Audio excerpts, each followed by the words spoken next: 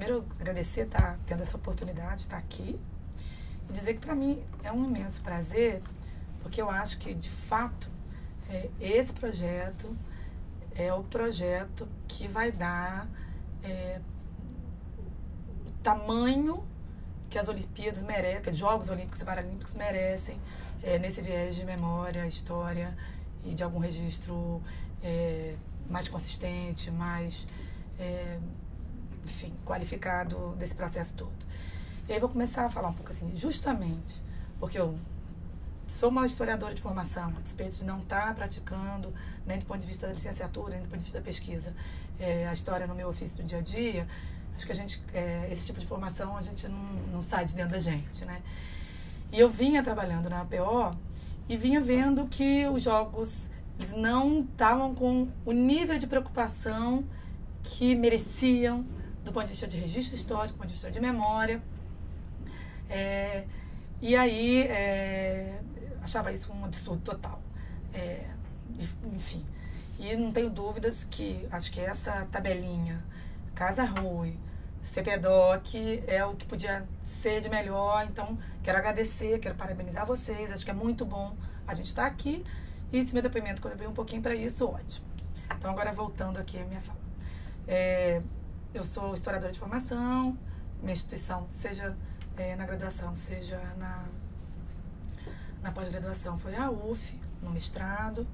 É, já trabalhei aqui como estagiária no CPDOC, fui pesquisadora também, então muito bom também estar aqui, fico feliz, tô, fiquei entrando, mudou muito no meu tempo, mudou muito. 25 anos depois mudou muito, é, mudou muito para melhor, uhum. o que é muito bom ver esse tipo de reconhecimento. E é, durante dos últimos 10 anos da minha vida, eu trabalhei em gestão. Então, é, eu saí de uma lógica é, da academia em História, imediatamente em 2097. Eu entrei numa. Eu fui diretora do Departamento de Memória Cultural da Prefeitura de Niterói, e a partir dali eu comecei minha trajetória de gestão. É, lá em Niterói ainda, numa gestão municipal, eu fui subsecretária de Cultura, depois eu fui diretora da Neltur, que é a empresa de, de, de é, esporte, lazer, turismo de Niterói. Uhum. Não sei se o nome está esse, na época era isso. Depois eu fui subsecretária de Planejamento, fui secretária executiva, secretária de Planejamento e secretária executiva da Prefeitura de Niterói.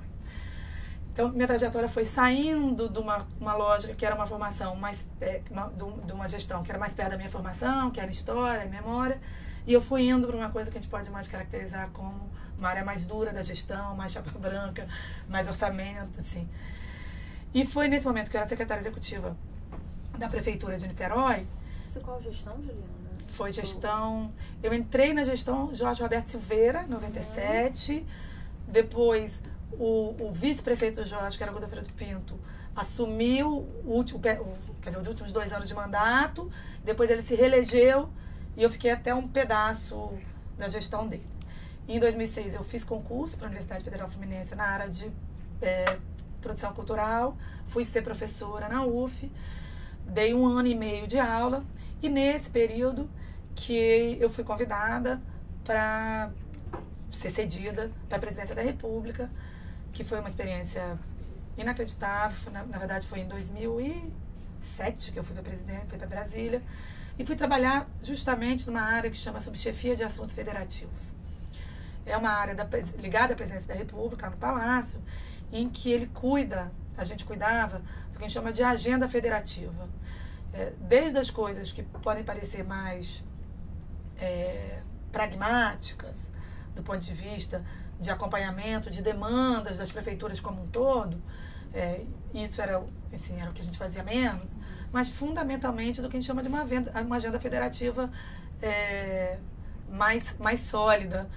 É, e aí a gente chama agenda federativa aquele, aquela agenda que interessa para todos os municípios.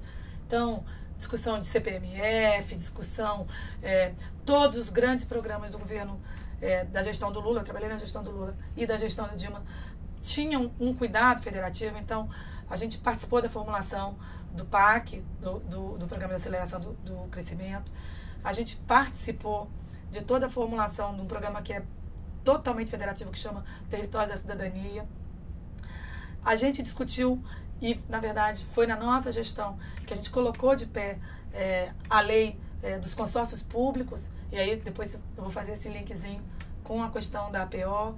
É, enfim, é, para mim, pessoalmente, foi um momento totalmente inédito, é, numa gestão que eu super acreditava, não tinha como não estar tá, é, participando, trabalhar na presidência da República naquele momento, na primeira gestão, na, na verdade, é, no, na gestão do, do, Lula e depois da presidenta Dilma, é, foi muito inédito. E é, acho que, de fato, a gente, é, enfim, com erros e acertos, é, naquele momento, eu não tenho dúvida que teve um crescimento importante na, na agenda federativa de valorização dos municípios é, naquele momento. Passando rapidinho, é, na época, é, em 2011, 2010, o ministro, que era o meu ministro da, da Secretaria de Relações Institucionais, era o Alexandre Padilha, e ele foi, veio a ser convidado para ser ministro é, da Saúde. Então, de 2010 para 2011, com a reeleição da presidenta Dilma e com a confirmação do Alexandre Padilha como ministro da Saúde, ele me convidou e eu fui com ele para ser secretária executiva adjunta do Ministério é, da Saúde. É, então, mais uma vez, eu fui me afastando é, do meu viés de formação. É, fiquei muito em dúvida, porque eu gostava muito de trabalhar na, na SAF, era um, é um espaço importante. É, mas, por outro lado, enfim, acabei. E acho que eu fiz a opção certa. Quer dizer, foram experiências novas. Tinha um, um tempo grande da minha vida ali que eu gastava com coisas mais duras, então eu cuidava de toda a parte de emendas parlamentares, eu cuidava muito de execução do orçamento, mas o combinado é que eu ia para cuidar das, das, principais políticas é, relativas ao, ao Ministério da Saúde é, na relação com o Palácio Planalto. Então, assim, a, o Ministério da Saúde tinha no PAC toda a política de UPA e UBS, tinha toda a política é, da atenção básica. E, e para mim teve a maior experiência que eu tive na minha vida, que foi eu participar e poder ajudar na coordenação do programa Mais Médicos. Então, de alguma forma, a gente conseguiu recuperar é, esse viés federativo. Então, uma das minhas funções, claro que eu não fazia isso sozinha, tinha um grupo em que eu coordenava, era fazer toda essa relação federativa com as prefeituras, foi toda a construção da importância do programa Mais Médicos, com os prefeitos, com os secretários municipais é, de saúde. E, de fato, eu não sei quanto, estou longe de algum tempo, não sei que números tem, mas a gente, em um mês e meio, conseguiu botar de pé uma política sólida, trazendo 14 mil médicos estrangeiros, entre cubanos e outros, uhum. para os lugares mais, mais necessitados desse país. É, são vivências inacreditáveis nesse processo. Bom, diante, quando chegou em 2014, eu já vinha com questões pessoais grandes, é, achando que eu precisava retornar para a academia. Eu já estava nove, oito para nove anos longe da universidade. Esse troço vinha me incomodando, e não é só longe da universidade, é longe da universidade e longe dos meus objetos de estudos. Falei, não, eu vou precisar construir retorno. Ao mesmo tempo, como eu sempre gostei muito de gestão, falei, também não adianta eu achar que eu agora vou cortar todos os lacinhos. Então, é, eu vi nas Olimpíadas uma possibilidade de eu conseguir fazer uma transição importante. É, tinha uma oportunidade de ser superintendente de cultura da Autoridade Pública Olímpica. A gente vai falar um pouquinho sobre isso, mas é era, era o, vamos dizer, o, é o consórcio. E naquele momento era o que tinha de mais público nas Olimpíadas e que eu tinha oportunidade de estar presenciando. E, por outro lado, eu viria para trabalhar na minha área, que era a área de cultura. Os meus planinhos aqui maquiavélicos diziam, bom, eu vou ser superintendente de cultura, vou acompanhar toda a política cultural das Olimpíadas. Depois transformo isso no meu projeto de doutorado, porque o meu projeto original já tinha ido para o saco há muito tempo, eu já não tinha mais razão de estar recuperando um troço de 10 anos atrás. É, 10 não, no caso do projeto de doutorado de 15 anos atrás. É, e aí, de, alguma maneira, eu ia desmamando da gestão, no sentido da gestão mais, né? Não que a academia ela tenha essa distância toda. E ia, aos poucos, me transformando é, me aproximando um pouco. É, meu plano deu, meu plano de cebolinha deu meio certo, porque deu certo, eu virei superintendente de cultura, é, vivi dois meses aí, tentei, nesses dois meses que eu estava como superintendente de cultura, começar a construir isso que eu acreditava, que era um programa de cultura que a gente integrava é, a Prefeitura Municipal, o Governo do Estado, o Governo Federal e o Comitê Rio 2016, que naquele momento era quem, vamos dizer, tinha algum protagonismo naquele momento, do ponto de vista cultural, é quem naquele momento estava mais à frente, estava com mais muscula, musculatura naquele momento. É, depois a gente vai falar sobre isso, mas depois disso a prefeitura, por exemplo, tomou é, um protagonismo muito maior. A gente acho que retomamos algumas reuniões, é, retomamos um grupo de trabalho que estava colocado, mas aí por questões internas da APO, eu fui convidado pelo presidente à época, que era o general Fernando, de assumir a diretoria de operações e serviços. Nessa diretoria tem é, áreas que são áreas que, do ponto de vista das Olimpíadas, tomaram mais tempo. Então, a área de segurança é a área que está debaixo da minha diretoria, toda a área de serviços públicos, energia, saneamento, é, toda a área de que a gente chama de regulação está debaixo da minha diretoria, toda a área de saúde está debaixo da minha diretoria. O que aconteceu é que, naturalmente, essas questões foram tomando mais o meu tempo. E também, naturalmente, quem me substituiu como superintendente era o Marcelo, que é uma pessoa maravilhosa e que, enfim, tocou de maneira brilhante e que, enfim, é, demandava muito menos de mim pela confiança que eu tenho por ele, porque eu acho que as coisas acabaram acontecendo. Enfim, então acabou que não foi ainda dessa vez que eu consegui é, retomar totalmente minha trajetória com a discussão de cultura, história, memória. É, mas tinha um pezinho lá, enfim. Mas como é que foi esse convite para você ser, para você ir para a PO? Foi você que buscou essa migração ou teve alguma? Não, foi foi um pouco as duas coisas. É, eu sabia que estava tendo uma reformulação na PO. Depois, se a gente for falar um pouquinho da história, você vai ver, inclusive, que teve uma possibilidade da PO é, acabar a PO e por uma decisão de governo, é, se eu não me engano, em outubro, setembro de 2013, decidiu não acabar com a PO e reformular a PO. Foi quando o general Fernando assumiu a PO em novembro de 2013. E aí ele fez uma reformulação na equipe. É, quando chegou janeiro de 2014, algumas pessoas é, que trabalhavam na PO me falaram, Juliana, tem algumas vagas. E aí, é, nesse sentido, eu enviei meu currículo. O general Fernando não era uma pessoa que eu conhecesse, quer dizer, várias pessoas do governo e que interagiam com ele, seja da Casa Civil, é, na época era a ministra Gleice, seja o próprio Alexandre Padilha, é, e outras pessoas já tinham trabalhado comigo, então de alguma maneira politicamente é, me respaldaram. O general Fernando é, não era uma pessoa que eu conhecia, é uma pessoa que fez questão de dizer, quando fez a entrevista comigo, que é, tinha boas referências é, em relação ao meu nome, é, mas que estava me escolhendo por causa do meu currículo. É, para ele, essa, eu estou falando isso não para me valorizar, mas para dizer que para ele isso era uma dimensão é, importante é, a despeito de saber que na APO, como assim como uma, uma grande maioria é, de espaços que tem indicação, cargo de confiança, cargo de confiança é para ser assim mesmo, né? No caso dele, ele fazia questão de dizer que as escolhas deles eram escolhas técnicas. Então, fui lá, fiz entrevista, mandei currículo, e aí ele acabou, enfim, me convidando para ficar, eu fiquei. Então, Juliana, conta um pouquinho mais é, esse cenário que você encontrou na PO, né? Desse momento de reformulação, de um risco de, de ter fim ao PO, à PO e, e, esse processo de reformulação. Que cenário é esse que você encontrou ali? Tá, eu, eu vou falar então desse cenário imediato, que é, a PO tem uma história mais para trás, depois a gente pode falar um pouco, mas... Pode recuperar, se você, quiser. Pode recuperar. É, tá. Parte dessa história que eu vou recuperar agora é uma história contada. É, é, é menos uma história que eu vivi, né? Eu entrei em, fevereiro de 2014, mas acho que, que vale aqui, e eu acho que vários depoimentos que vocês vão colocar vão, vão, vão trazer isso de maneira mais concreta, mais, mais consistente, inclusive do que eu estou falando, que foram pessoas que viveram isso. Mas uma história contada na APO ou que você já ouvia quando estava lá em Brasília? É uma história contada que eu ouvia, que estava em Brasília, e um pedaço que, de alguma maneira, ah. parte dessa história se consolidou claramente quando eu cheguei na APO, de algumas pessoas que viveram. Então, então vamos lá do começo.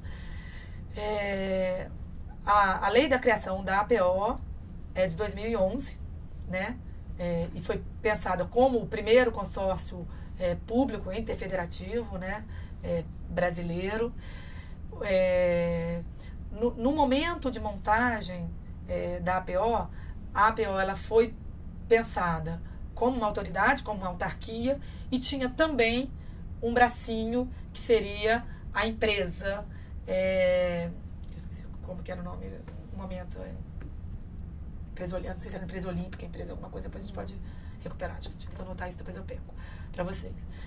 É, do ponto de vista da elaboração e da formulação que foi colocada.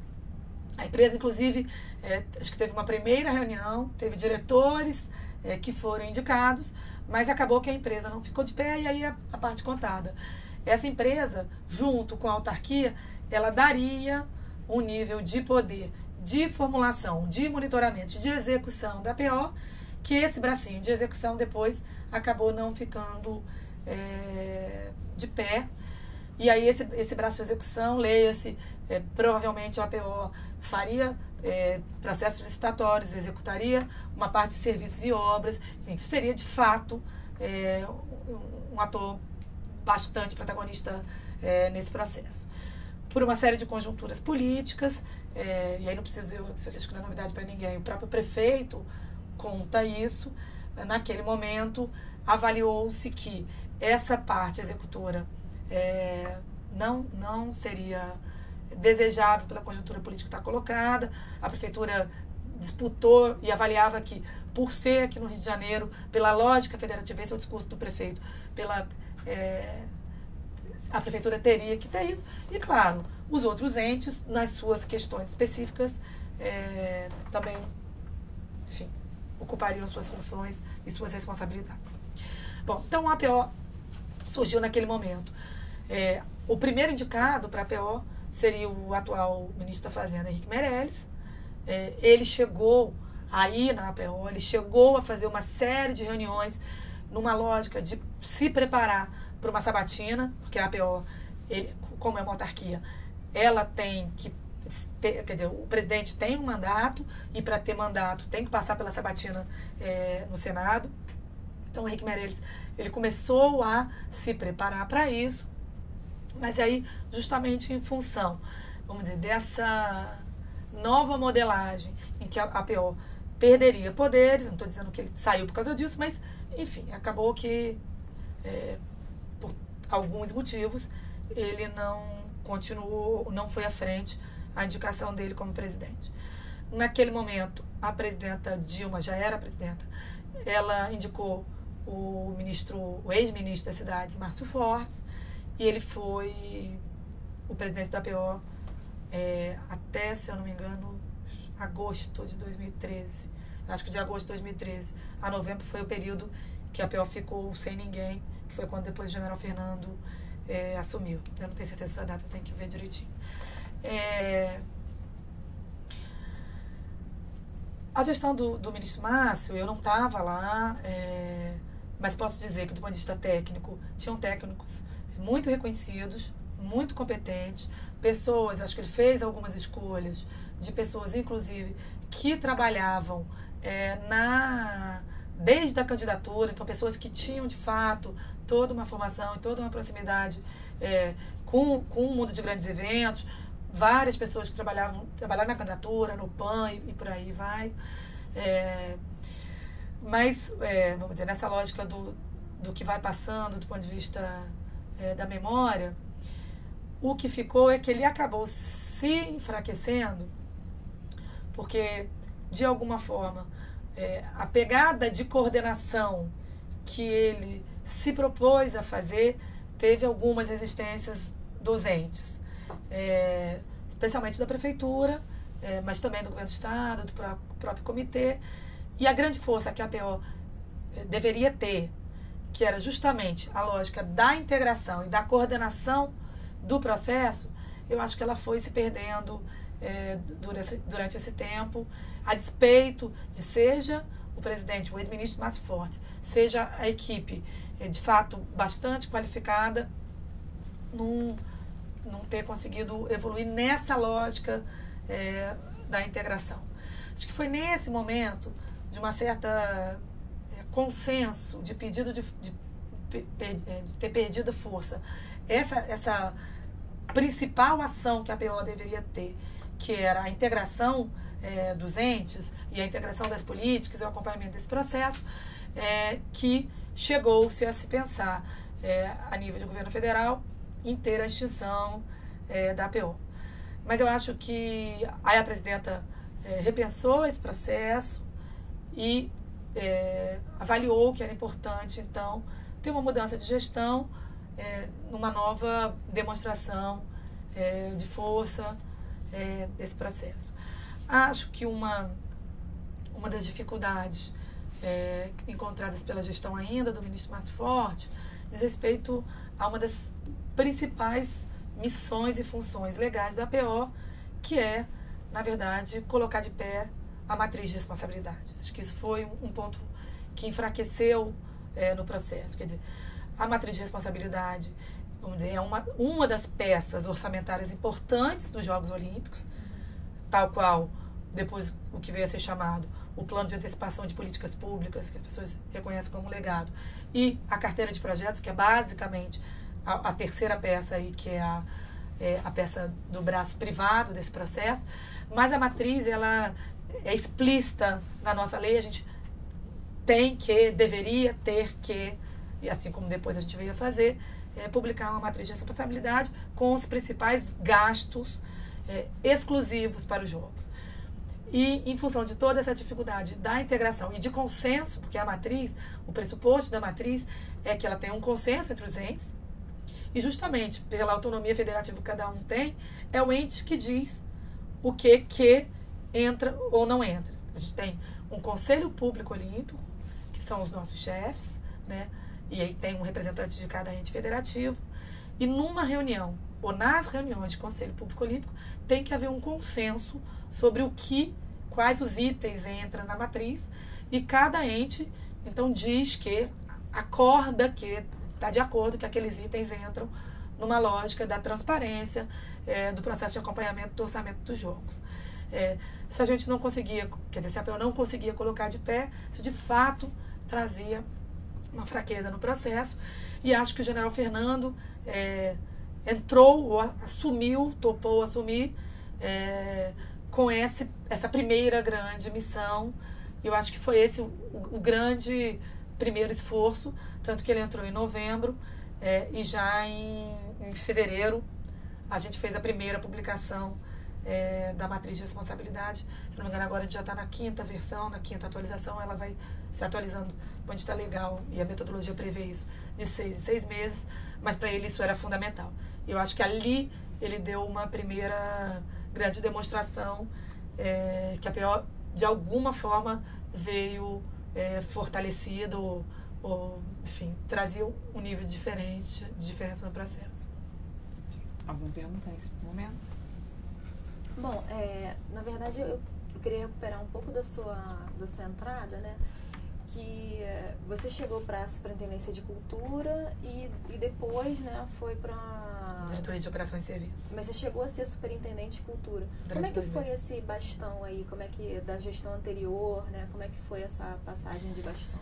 Então, acabou que não, não, não rolou muito, porque, é, na verdade, o eu não tenho certeza absoluta, mas o ex-superintendente, que era o Cid, que era uma pessoa que eu conhecia, a gente trabalhou junto, inclusive no governo federal, ele era, durante muito tempo, ele foi do Ministério das Cidades, uhum. é, enfim, um técnico mega qualificado. Eu quero dizer que o Cid está naquele, no hall de pessoas da APO, que eu acho que é, tinha estofo, qualidade, competência excelência para ter, é, enfim, para qualquer coisa ponto de vista técnico e político. O Sidney assumia, tá, era o superintendente de cultura, tinha desenvolvido esse GT que eu falei que a gente acabou retomando. Ele, durante muito tempo, tocou esse GT, fez propostas colocadas, só que eu não, eu não tenho certeza se ele saiu em outubro, setembro, outubro, eu não sei. Eu sei que o gap entre a saída dele e a minha entrada foi um gap muito grande. Uhum.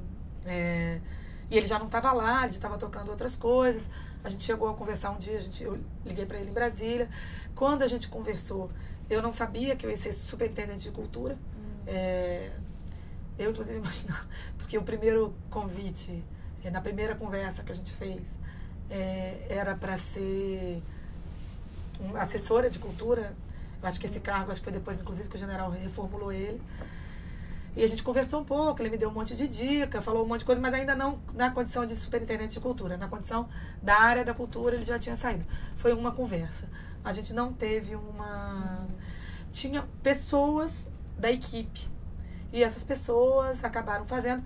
Como, na verdade, o, com a entrada do general ele é, e a equipe dele, eles deram uma reformulação muito grande do ponto de vista da metodologia, então eles criaram uma metodologia, criaram um sistema que é aqueles que que um dia eu já mostrei um pouco para vocês. É, na verdade, a gente acabou. Eu, quando eu cheguei lá, tava, tinha um mês e meio que esse sistema estava sendo colocado de pé. Então, a minha tarefa era é, pegar este conteúdo, discutir um pouco esse conteúdo, recuperar um pouco esse GT, as coisas que o, que o CID já tinha colocado de pé, que estavam seis meses sem, uhum. sem nenhum dono, recuperar atores. Do, do ponto de vista da cultura, teve muita mudança de ator, seja no comitê, seja na prefeitura, seja no governo do estado. Então, na verdade, a gente tentou retomar um pouco essa, essa situação. Então, eu estava muito pegando o pé também das coisas. E, enfim. Quando você diz sistema, é o sistema de gestão do conhecimento, aquele software. Isso. Né? Tinha acabado de ser desenvolvido, então. Na verdade, é. A gente. Ele é um sistema que foi desenvolvido pelos técnicos da BO, uhum. então ele estava ali estava começando, não do jeito que ele está hoje. Então, Sim. assim, o conceito de não ter coisas em planilhinhas do Excel. O conceito de a gente ter alguns temas que a gente precisava acompanhar. Fundamentalmente, o conceito da gente começar a dar alguma razão de ser na nossa relação com os órgãos de controle. Porque a lei dizia que a gente tem que coordenar, acompanhar e monitorar os principais entregas dos jogos. Então, a gente não só, é, a partir daquele momento, não estou dizendo que a gente inaugurou, mas que a gente precisou, é, e aí, muito sob comando da equipe do General Fernando, colocar de pé uma, uma proposta metodológica para estar tá dando respostas, então, naquele momento, o que é coordenar as principais entregas dos jogos. E, e aí a gente fez algumas conversas mais coletivas, planejamentos estratégicos, e a lógica é, gente, coordenar agora não é ser o mais importante, ser o chefe, porque ser o chefe já não deu certo, as pessoas não nos reconhecem como chefe. Não adianta a gente imaginar, numa lógica federativa, que você tem um prefeito com essa força, você tem um governo federal naquele momento com muita força, o governo do estado é, também estava colocado. Não adianta a gente achar que a gente vai chamar todo mundo e falar: Ó, oh, a gente agora está coordenando vocês. Que beleza. Não, não, não é. é. A gente só vai ter algum sucesso se eles enxergarem na gente é, um ator que pode ajudar nesse processo. E o que, que a gente pode dar de melhor nesse processo? É a gente garantir ou tentar propor uma integração é, dos entes. É, e integrar significa aproximá-los em algumas situações, criar alguns fóruns, coordenar alguns fóruns que garanta esse tipo de, de integração. E aí, pensando nessa lógica de que coordenar é integrar e acompanhar, a gente começou a dis discutir entre a gente e com os próprios órgãos de controle é, se aquilo que a gente estava construindo como metodologia de acompanhamento e monitoramento é, não só era satisfatório para os órgãos de controle, que era uma coisa, mas era fundamentalmente satisfatório para os entes. Quer dizer, é, ser mais um a monitorar, tá pagando salário à toa para mim, não sirvo para nada. É melhor realmente acabar com a APO. Que nível de monitoramento estratégico pode ser importante e pode dar alguma diferença é, nesse processo. Então, foi nessa lógica que a gente é, não só começou a montar um sistema, que é um sistema que trabalha com riscos, que trabalha com uma lógica da gente tentar fazer algum tipo de, de planejamento, preventivo e que trabalhe também com propostas, que você sinalize algumas propostas de solução e que às vezes o ente sozinho ali não consegue enxergar o todo. A gente com um certo distanciamento e com uma obrigação de estar olhando por todos, a gente pode fazer isso. Claro que, assim, estou aqui falando receitinha de bolo, parece que é fácil. Em algumas áreas a gente teve bastante sucesso, em outras áreas não teve sucesso é, por própria resistência é, dos entes. Então, a gente tem um pouco essa, essa história para contar. Áreas que a gente acha que a gente fez mais diferença e áreas que a gente fez menos diferença. E uma das nossas é, estratégias é trabalhar isso de maneira muito transparente, inclusive com os órgãos de controle. Quando a gente fala, não, aqui a gente monitora até onde lei manda, porque a gente tem que fazer, mas do ponto de vista é, da vida real, tem limitações. É, como, por exemplo, toda a lógica da, da mobilidade. É, então, a lógica da mobilidade é, seja os, plane, os planos de mobilidade urbana. Por quê? Porque tem um protagonismo da, da prefeitura como um todo. É, por outro lado, tinha um metrô que tinha uma vida própria. Não precisa a gente ficar controlando é, calendário de entregas, é, enfim. Nesse sentido, não tem. Por outro lado, eu acho que talvez o, o case mais de sucesso que a gente possa dizer é o case de energia que desde o primeiro dia a gente tem um grupo de trabalho que ainda agora está, está em vigência, porque a gente está ainda no momento paralímpico. Hoje, dia 29, a gente não, está na transição entre Olímpico e Paralímpico. Hoje de manhã eu tive reunião é, no GT de Energia, em que a gente, de fato, semanalmente, todos, não me lembro, talvez tenha faltado uma ou duas, é, tenha falhado uma ou duas é, segundas-feiras, mas toda segunda-feira você tem numa mesa governo do estado, governo federal, comitê discutindo planejamento de energia. É, e, e, eu acho que nesse caso fez toda a diferença e a coordenação da PO foi fundamental. Estou falando isso com menos cerimônia, porque acho que todos os entes reconhecem é, nesse processo. E o próprio COI, que é, é nesse caso da energia, tem sido. Era uma das questões centrais para eles, a questão da energia, não tenho dúvida. É, então, nesse caso, a gente tem áreas que a gente faz mais sucesso, áreas que a gente faz menos sucesso. Ainda nessa linha, tentando, Juliana, é, fazer um registro um pouquinho mais detalhado, você poderia falar um pouquinho de quais são os, os instrumentos e as práticas né, é, nesse processo de monitoramento junto aos entes todos? Quer dizer, um pouco, detalhar um pouquinho mais como que funcionava mesmo. Tá, vamos lá. Primeiro, eu acho que isso tem é, momentos.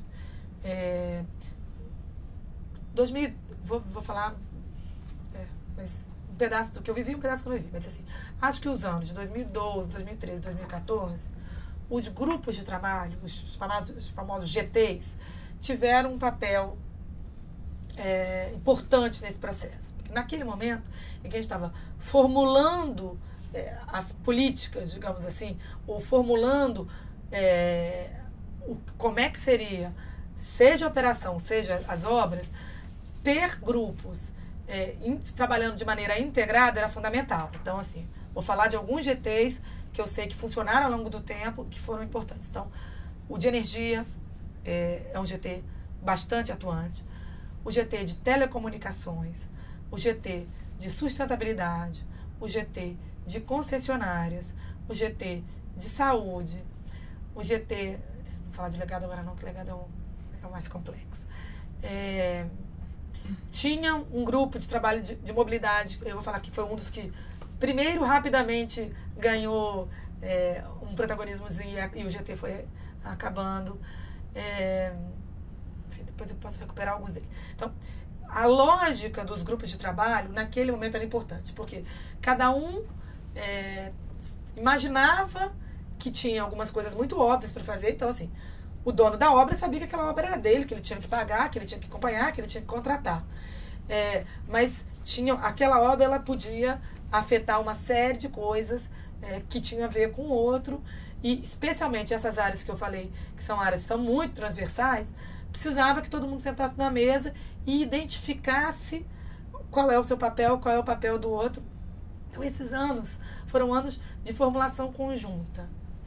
Acho que a partir do final, metade de 2014, e aí entrou 2015, aos poucos, a gente foi, a própria governança dos jogos, e aí quando eu falo governança, tem, na época tinha um comitê de coordenação, é, e depois tinham já Olimpíadas, mas tinha também é, o comitê executivo, que era o COMEX, eles mesmos foram propondo o fim dos GTs. Por quê? Porque o GT já tinha deixado claro quem tinha que fazer o que, até onde cada um ia, já tinha responsável, já tinha dinheiro definido, já tinha escopo de cada um, cada um precisava pegar a mão na massa, botar aquilo de pé e eventualmente a gente fazia reuniões extraordinárias e bilaterais para fazer ajustes. Mas é, já, já foram momentos em que não tinha muita discussão sobre responsabilidade. é, o, o, início dos GTs era início de muita discussão, inclusive de quem pagava o quê, por que, que eu tinha que pagar aquilo, por que, que não era você, aquela responsabilidade do governo federal, quem assumiu era aquilo, é minha responsabilidade, mas eu não tenho dinheiro, então você cuida. E muita discussão entre os poderes públicos e o comitê, que era o bracinho privado. É, posso dar um exemplo aqui de uma coisa que eu vivi bastante, que foi o GT de saúde.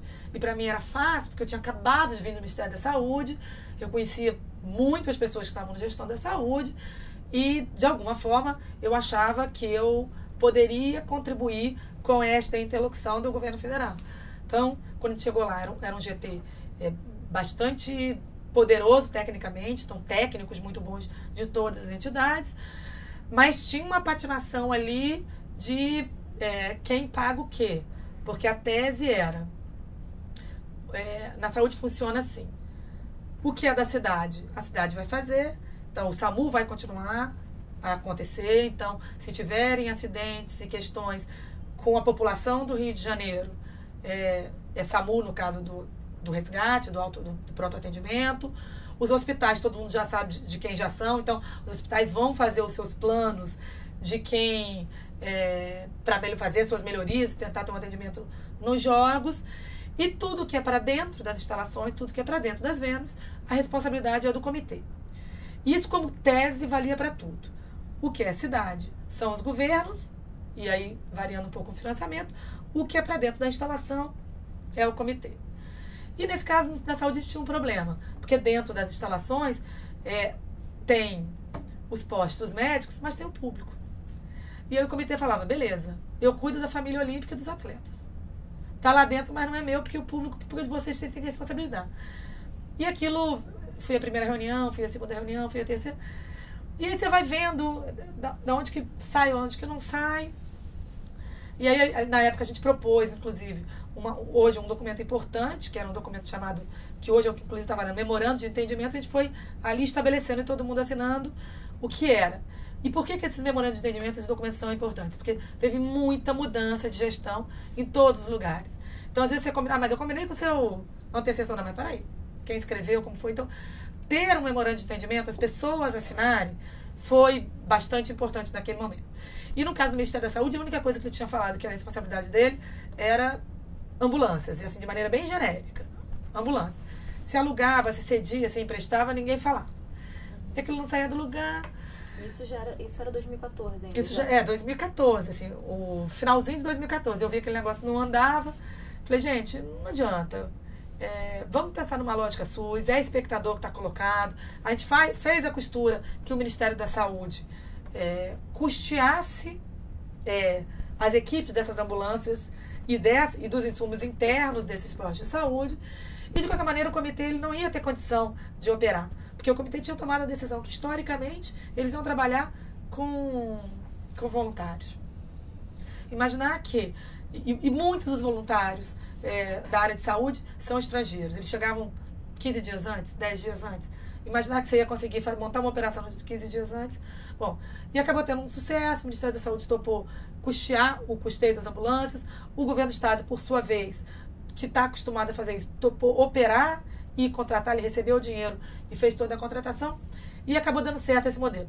E a prefeitura, é, por outro lado, tomou à frente todas as, as, as políticas, seja dos seus hospitais é, municipais, seja fundamentalmente uma coisa que é totalmente crítica em todos os jogos, todo mundo sempre recomendou isso, todo mundo sempre falou isso, que é a parte da vigilância sanitária e epidemiológica, porque é, é um, um evento mega, é muita gente ao mesmo tempo, é muita é, empresa ao mesmo tempo. Só na vida dos atletas, você monta um restaurante que é provisório, com 70 mil é, refeições dia, então você imagina isso, fora toda a operação de para espectadores e, to, e toda a operação da cidade, porque aumenta muito. Então, assim, a prefeitura é, foi muito importante nesse processo.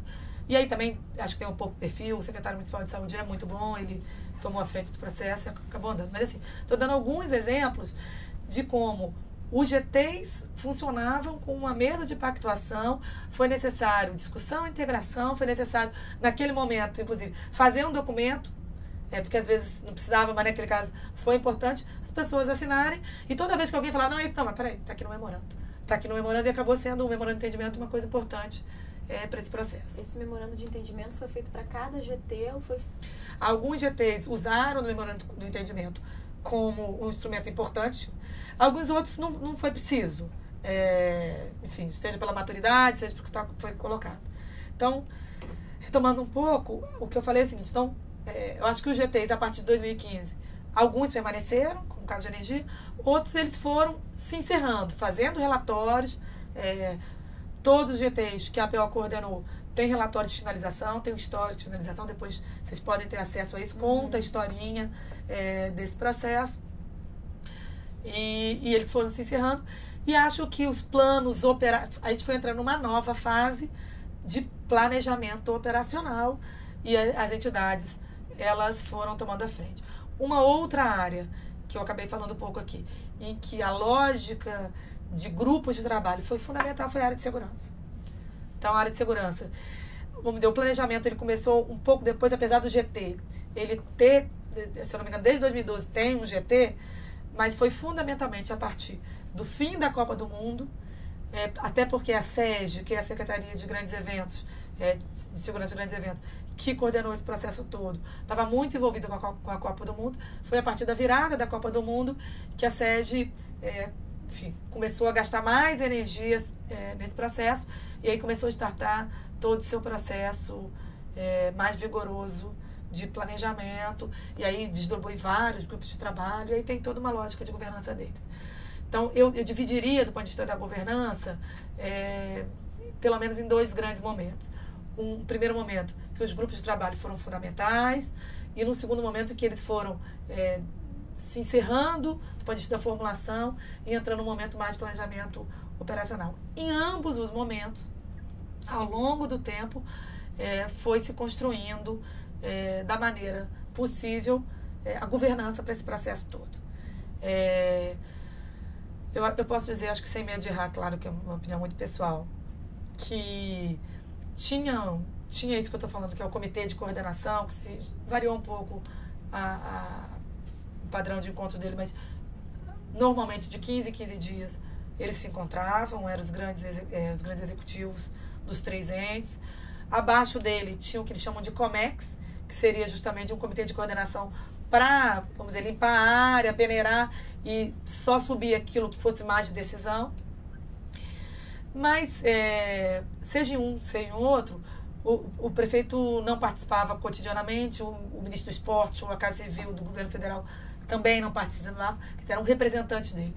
Então, especialmente a partir de 2015 para cá, é, quer dizer, o prefeito sempre cuidou muito disso, mas em 2015 para cá o prefeito acelerou muito é, o processo de, de monitoramento. E muitas vezes, é, aos poucos, esse comitê de coordenação ele foi encerrando seus trabalhos e os, o, quer dizer, o processo decisório acabou sendo muito nessas reuniões é, em que também eram quinzenais, em que tinha o prefeito, o ministro do esporte, algum representante da Casa Civil do Presidente da República, algum, geralmente era o secretário, nem sempre era o governador, mas o secretário da Casa Civil, é, nosso presidente ia na maioria das vezes, e enfim, e a, a governança foi sendo tocada. Uhum. E você acompanhava essas reuniões já como diretora de. É, nas reuniões do comitê de coordenação, algumas sim, especialmente quando tinha temas relativos aos temas que eu acompanhava. É, no Comex a mesma coisa. Normalmente as, as, reuniões com o prefeito eu não ia, fui algumas. É, quem ia era o presidente, Marcelo. Aí já, no começo era o general Fernando, que eu acabei pulando, não falei do Marcelo. E já no final, agora, é, general Fernando saiu em março de 2015. No caso da, da Superintendência de Cultura, né, você não teve a possibilidade de ter, de fato, uma, um diálogo com o seu É, a gente conversou um pouco, porque né? tinha um gap, já estava seis meses fora, já estava em outras... E no caso da diretoria de serviços e operações, você conseguiu ter... Porque, assim, você já estava na PO, né, tá. e passou para a diretoria. Como é que foi esse processo de pular de um... Então, acho que aí foi mais fácil mesmo, porque a diretora que estava no meu lugar, quer dizer, era, ela foi, isso foi fruto de uma reformulação maior da APO. Então, naquele momento, o general Fernando é, terminou, quer dizer, encerrou algumas diretorias e criou outras. Justamente porque ele estava montando uma lógica, ele viu a necessidade de montar uma metodologia própria, um sistema de pé. Ele achou fundamental criar uma diretoria de integração. Uhum. A Lígia, que era a diretora, que estava na diretoria antes de mim, foi ser diretora de integração e eu assumi a diretoria de serviço. Então a gente já era colega, uhum. continuou colega a gente continuou convivendo. Ela, até por força da necessidade de integração, deu toda a assistência é possível. Ela é uma pessoa muito qualificada. Os colegas eram os mesmos. Então, no cotidiano, no dia a dia, eu fui aprendendo e tentando. De qualquer maneira, é, desde sempre eu deixei muito claro é, que tinha algumas áreas, do ponto de vista técnico, eu não tinha nenhuma qualificação, então imaginar que eu ia trazer grandes contribuições na discussão de segurança, e foi essa a minha primeira conversa. Ela me convidou, eu falei, oh, não tem nada de segurança. Tem porquê. Não, Juliana, não precisa entender de segurança. Para entender de segurança, eu tenho vários técnicos que estão lá para isso. O que eu preciso é que você ajude na coordenação do processo de articulação e integração do processo. E, fundamentalmente, eu acho que talvez o que eu possa ter contribuído mais, especialmente naquele momento em que é, grande parte da gestão do governo federal, é, eu, eu, tá, eu vim do governo federal, então as pessoas da Casa Civil, as pessoas de alguns ministérios, eram pessoas que eu já tinha alguma convivência, então eu acho que eu ajudei um pouco é, nesse processo de acompanhamento e interlocução, é, especialmente no governo federal. É, acho que na prefeitura menos, porque a prefeitura tinha mais vida própria, e também porque acho que o governo federal estava mais distante. Então, acho que a PO ajudou é, em diminuir um pouco é, essas distâncias.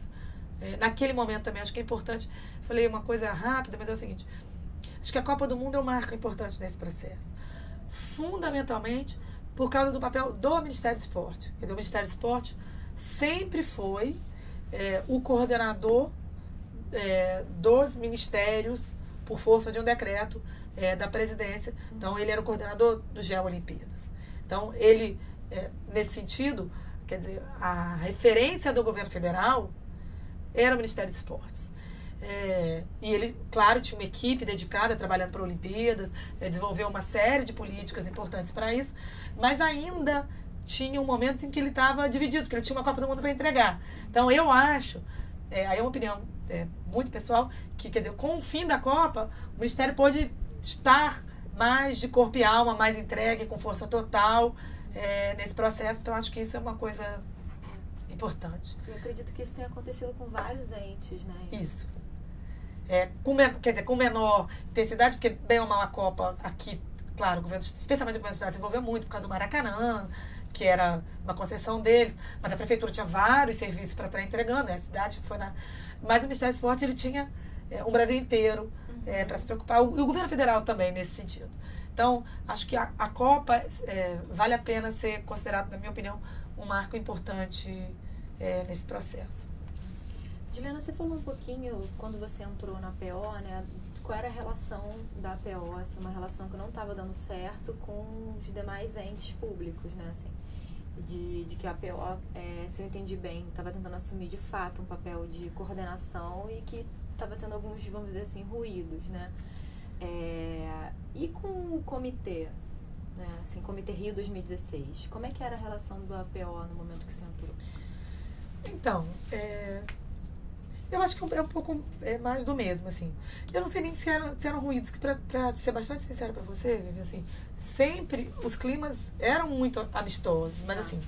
É, e, e, tem um gap que é importante, que é o seguinte: o General Fernando entrou em novembro, eu entrei em fevereiro. Uhum. Eu acho que. É, e quando eu entrei, a, a matriz, inclusive, quer dizer, sei lá, 15 dias depois, a matriz já estava publicada. Então, acho que já teve nesses meses um processo de amadurecimento uhum.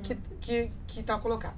Acho que o comitê tinha um mesmo, é, uma mesma leitura é, da APO que os entes tinham. É, e eu quero falar isso com cuidado, gente, porque de, primeiro que eu não sei se é, ao longo, e não sei mesmo, por não estar tá lá, se, se ao longo do tempo teve todo esse descrédito ou se esse discreto teve altos e baixos. Eu imagino que não. Eu acho que teve momentos em que a APO, é, junto com os entes e com o próprio comitê, já teve momentos maiores, mas. É, e aí não sou eu que estou falando. Quando se chega um momento em que se pensa em acabar com a PO, que se deixa durante quatro ou cinco meses uma instituição sem presidente, é, não é segredo para ninguém que você tem um nível de fragilidade naquele processo. Então, não adianta a gente também ficar aqui tapando o sol com a peneira. É, mas talvez menos por ruídos, mas mais por falta de uma compreensão dos entes da importância ou da utilidade é, daquilo que está colocado. Quer dizer, a PO tinha muita clareza, porque você tinha uma lei por trás dela dizendo você tem que fazer isso. E você tinha um, um monte de circunstância em que, é, do ponto de vista federativo, a coisa não se colocou de pé. O general Fernando falava muito isso. É, ele manda eu coordenar, mas eu não tenho orçamento.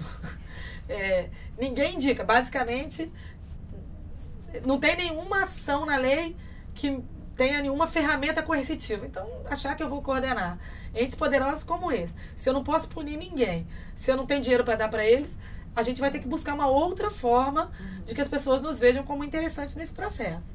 É, e aí eu estou falando muito geral, falando desse comecinho, mas eu acho que é, o Marcelo foi brilhante nesse processo, porque a gente é, teve que se reinventar, é, no sentido de se mostrar necessário por um lado, e por outro lado cumprir a lei, porque também não adianta ser, ser boazinha, legal, não sei das quantas, e você não está cumprindo o que a lei manda. E aí depois.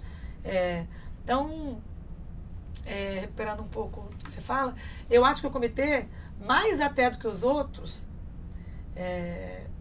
estava é, nessa mesma vibe. Por que, que eu acho mais do que os outros? Porque, bem ou mal, a APO tem os três entes e, e enfim, e a partir do momento, também se todos os entes achassem que a APO não tinha que acontecer nada, era só simplesmente se retirar do consórcio ou propor no Conselho Público Livre que não estava colado. Então tinha, de alguma forma, algum tipo de compromisso. Diferente do comitê, que não tinha compromisso nenhum é, do ponto de vista da gestão e que se via como um ente privado é, nesse processo. Acho que o comitê, nas áreas é, que a gente ajudava mais na integração, é, nos solicitava mais coisas. Acho que é um pouco, é um pouco nessa lógica do, do sucesso. Que é uma coisa engraçada, assim, é, e acho que tem a ver um pouco com essa coisa da Copa do Mundo que eu falei, que é o seguinte, muitas vezes o comitê nos via como governo federal. Eu me lembro que todas as primeiras reuniões eu falava, gente, eu não sou do governo federal. Eu sou dos três entes. Quer dizer, eu tenho três chefes. Mas por que, que eles não viam o governo federal? Porque normalmente nas mesas de reunião, você tinha um representante da prefeitura, então não tinha cabimento, me pedir ajuda, já que a prefeitura estava ali colocada, e do governo do estado da mesma forma. Do governo federal, às vezes tinha sim alguém do Ministério do Esporte, mas eu acho que, volto a dizer, mais depois da Copa e menos antes. E no meu caso, aí é muito pessoal, como eu tinha em relação ao governo federal, muitas vezes eu conseguia ter é, uma agilidade maior do que, eventualmente, os caminhos mais regulares podia ter. Às vezes você tem uma relação pessoal, você liga, tem um telefone, vai. Então, assim, é, o comitê via muito a gente como, como governo federal é, é, nesse processo. E aí, quando a gente faz os nossos relatórios, vai vindo. Gente, muitas vezes a gente levanta, principalmente para esses relatórios de atividade para o TCU. É, em que momentos é, o nosso trabalho fez diferença em alguma coisa, você vê que realmente foi na relação com o governo federal que a gente conseguiu ter maior sucesso. Acho eu, por causa da presença mais forte aqui no local do estado e do município. Uhum. O comitê era o único que via mais vocês, assim como, vamos dizer, representantes do, do Poder Federal, do Governo Federal? É. Ou tinha algum outro ente que tinha essa percepção, ou teve essa percepção? Eu acho que todos, de maneira geral. O, o, o, COB também procurava vocês e não, o COI? Não, com o COB. O COI sim, mas o COI, é, como é que é a lógica com o COI? O COI você tem os momentos solenes. Uhum. Então, como na verdade o Comitê Rio 2016, ele é o braço executor do COI naquele momento, quer dizer, nesses, nos jogos, é, a relação, o, rep, o, representante é o comitê. Então, você, a princípio, você não tem essa relação direta. O COI ele tem uma lógica é, regular de fazer o monitoramento dos jogos. Então, nos que a gente chama de COCONs, que são os comitês de coordenação, ou nos project reviews, e depois, é, em, em, momentos mais operacionais, de X em X tempo, o, o COI vem ao Brasil, monta mesas de trabalho e faz seu acompanhamento.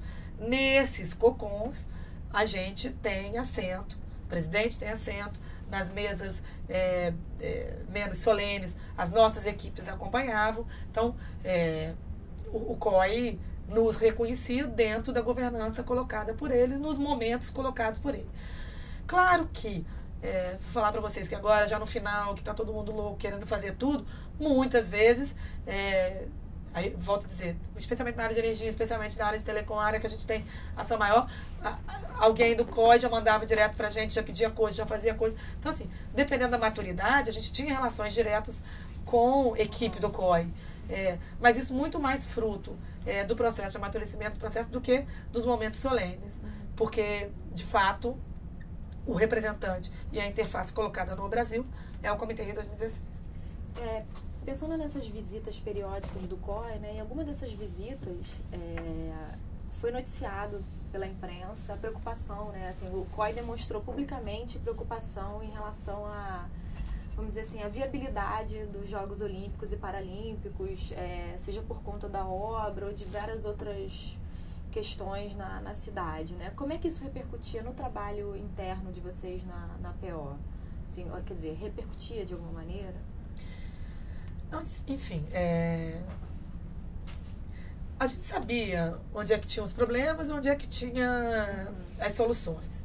A gente, em momento nenhum, em momento nenhum, é, ninguém duvidou do sucesso dos jogos como um todo. Uhum. É, especialmente porque, de, quer dizer, no último ano, é, tinha algumas questões específicas que vinham e voltavam, que eram as preocupações. Então, assim, financiamento da área de TPP, que é energia temporária, financiamento é, de algumas coisas da ação é, de segurança e atraso, atraso em algumas obras, em algumas instalações um problema com o velódromo, teve alguma coisa, teve um problema, um momento determinado, a história de Deodoro, os atrasos consecutivos das obras de Deodoro, que inclusive é, passou do governo do estado para a prefeitura com financiamento federal.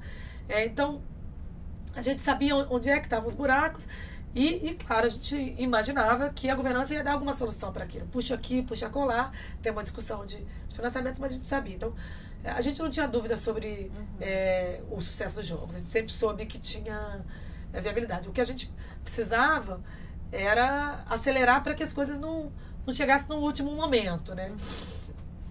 É, e, enfim, dizer que não, não tinha preocupação, tinha preocupação. É, a APO fazia, quer dizer, um das, dos mecanismos que a metodologia pre, pressupõe para a gente, a gente fazia avisos de riscos e a gente é, provocava os entes de alguma forma.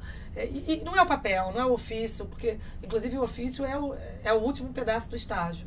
É, é justamente gente, o que eu acho que a gente tinha de melhor era a gente entender o problema real, tentar construir alguma solução de fato para aquilo. Claro, quando a solução é dar ou não dar dinheiro, o que a gente fazia assim, gente, o, o limite é esse, identificar onde é que eram os marcos fundamentais de deadline trazer propostas. É... Eu acho que, do ponto de vista das obras, o prefeito respondeu muito melhor que todos nós. Ele sempre passou muita confiança. E, de fato, nos momentos mais preocupantes, ele puxou para ele. É... E acho que essa, esse protagonismo dele, no sentido de dizer o seguinte: é... quando via que, no caso de obra, que aquela empreiteira não dava conta, ele assumia, inclusive, alguns riscos, é, tirava a empreiteira, é, fazia contratação é, por emergência, com dispensa de licitação, que é um risco do ponto de vista de gestão, é, mas com o argumento que. E acho que o governo federal também, é, nas questões que foram centrais, ele assumiu os serviços que estão colocados. Então, assim, de fato, energia, segurança e equipamentos é, esportivos, que foram as três grandes áreas que o governo federal assumiu é, que a gente chama de transferência de responsabilidade, que era inicialmente do comitê e que o governo federal assumiu, ele chegou junto onde tinha que chegar e o que a lei previa, inclusive, era isso, que sempre se previu, seja a transferência de, de responsabilidade, seja é, o subsídio. Então, é, escolheu-se as áreas que eram centrais e que o comitê avaliou que ele teria mais dificuldade de tocar em frente a partir daquele momento, o governo federal assumiu. Então, assim, claro que incomoda quando o COI coloca em dúvida, é, mas a gente tinha segurança de que os, os, as nossas lideranças iam chegar junto como de fato chegaram. Uhum. A gente chegou a ver nas visitas que a gente fez à PO e na apresentação do sistema os riscos, né? Enfim, é, tanto os riscos percebidos como sol, é, possíveis soluções né, para cada risco sendo desenhados ali. Né? É, Juliana, assim, e pensando é, do ponto de vista da pasta, né, da diretoria técnica de operações e serviços, né, é uma diretoria muito extensa, né, fica até difícil dizer assim quais são as, as diretrizes mais, assim, vamos dizer assim, mais concisas de modo geral, né, mas é, você teve algum conjunto de diretrizes mais específicas, né, na sua pasta para os Jogos Olímpicos e depois para os Paralímpicos? Como é que foi essa então, na verdade, todo o planejamento dos jogos, ele é feito para Olímpico e Paralímpico. Nunca teve uma separação, nem por parte dos governos, nem por parte do comitê. Então, por exemplo, as obras que foram feitas para os Jogos Olímpicos são as mesmas instalações para os Paralímpicos. Então, se ela vai ficar pronta a tempo para o Olímpico, naturalmente fica com o Paralímpico. O que a gente chama de overlay, que são as estruturas temporárias, as tendas, sempre o, o, contrato dele era um contrato para Olímpico e Paralímpico, sendo que a gente já sabia que parte é, daquilo que foi contratado para os Jogos Olímpicos, que a demanda era muito maior, ela ia ser retirada a, é, nesse momento de transição. Então, quando você fez o quando o comitê fez o contrato, ele fez um contrato já prevendo é, o período inteiro, já com um pedaço de desmobilização contando que não estava colocado. Então, o planejamento sempre foi um planejamento seja de pessoal, seja de, de, de contratações, de serviços, para os dois jogos. O que tinha, e aí é, tem uma equipe muito pequena, e é uma equipe bem pequena mesmo, do comitê, que ela é chamada de equipe de transição, que é a equipe que está mais trabalhando agora, em que tinha um planejamento específico de é, desmontagem e de algumas mudanças. Então, por exemplo, o look, que a gente chama de look da cidade. A, os aros olímpicos são aros olímpicos. Uhum. O Paralímpico tem a marquinha dele, que é aquela assim, que a gente chama de agitos. Então, é importante para o IPC pro, é, que tenha a marca dos Paralímpicos. Então, a gente sabia que ia ter uma ação e uma contratação específica para tirar o look do Olímpico e substituir do Paralímpico. É... Algumas arenas não vão ser usadas. Então, você vai em Deodoro hoje, especialmente em Deodoro, várias arenas já estão desmobilizando. Deodoro, ele funcionou com o que chama de área de domínio comum. É, Deodoro hoje vai funcionar com instalações, são três grandes instalações individualizadas, não vai ter aquele cercamento do domínio comum. Porque muito o que a gente ficou pensando é o seguinte, o impacto disso na cidade, a gente sabe o quanto que a cidade sofreu, para seja do ponto de vista de trânsito, seja do ponto de vista é, dos feriados, ou seja, no impacto na economia da cidade. Então, assim, é, e a gente sabia também, quer dizer, a despeito que a gente está tendo uma super mega surpresa, depois eu quero falar um pouco sobre isso, sobre o sucesso dos Paralímpicos, uhum. é, mas de uma maneira geral, é, são jogos que fazem menos tem menos atratividade. É, então, assim, você ter a cidade quase dois meses impactada é, é difícil. Então, tinham situações específicas que é, diferenciam o Olímpico é, do Paralímpico, mas isso é uma equipe muito pequena. Então, o planejamento todo é, de contratação foi feito é, para ambos os jogos. É, queria, só do ponto de vista que a gente está bem no meio dessa, desse uhum. momento, acho que não dá para não falar sobre isso. É, antes, um pouquinho, quer dizer, só para dar alguns números para vocês, num dia antes dos jogos, lá, dois dias antes dos jogos, vendia-se, estava é, se vendendo, não tinha nem 4% dos ingressos vendidos nos Jogos Paralímpicos. É, era uma média de mil, dois mil ingressos vendidos por dia, é, como média. É, já na virada, já no primeiro dia, depois dos jogos, por causa da sensação e acho por toda uma política está estourando e tem 150 mil ingressos sendo vendidos dia de Paralímpico, várias modalidades já é, com, com ingressos esgotados, especialmente as finais. E isso está fazendo a gente fazer o, o, planeja, o replanejamento do planejamento. Porque, assim, como a gente imaginava que fosse diminuir muito o nível de serviço, a gente tinha feito uma. Aí, muito comitê. Eu falo a gente porque, enfim, participo de algumas reuniões, mas essa é, um, é, essa é uma ação muito do comitê, é uma, é uma coisa deles, é operação deles. Então, por exemplo, eles já estavam cancelando alguns serviços porque ia ter menos público. Eles já estavam pensando em tirar uma cerca ou outra, em abrir um outro é, espaço mais eles tiveram que replanejar o planejamento de diminuição de escopo e agora eles têm bons problemas é, colocados do ponto de vista de mobilidade. Um monte de coisa estava sendo previsto para desmontar, a gente está montando, está mantendo o shuttle, está mantendo um monte de coisa.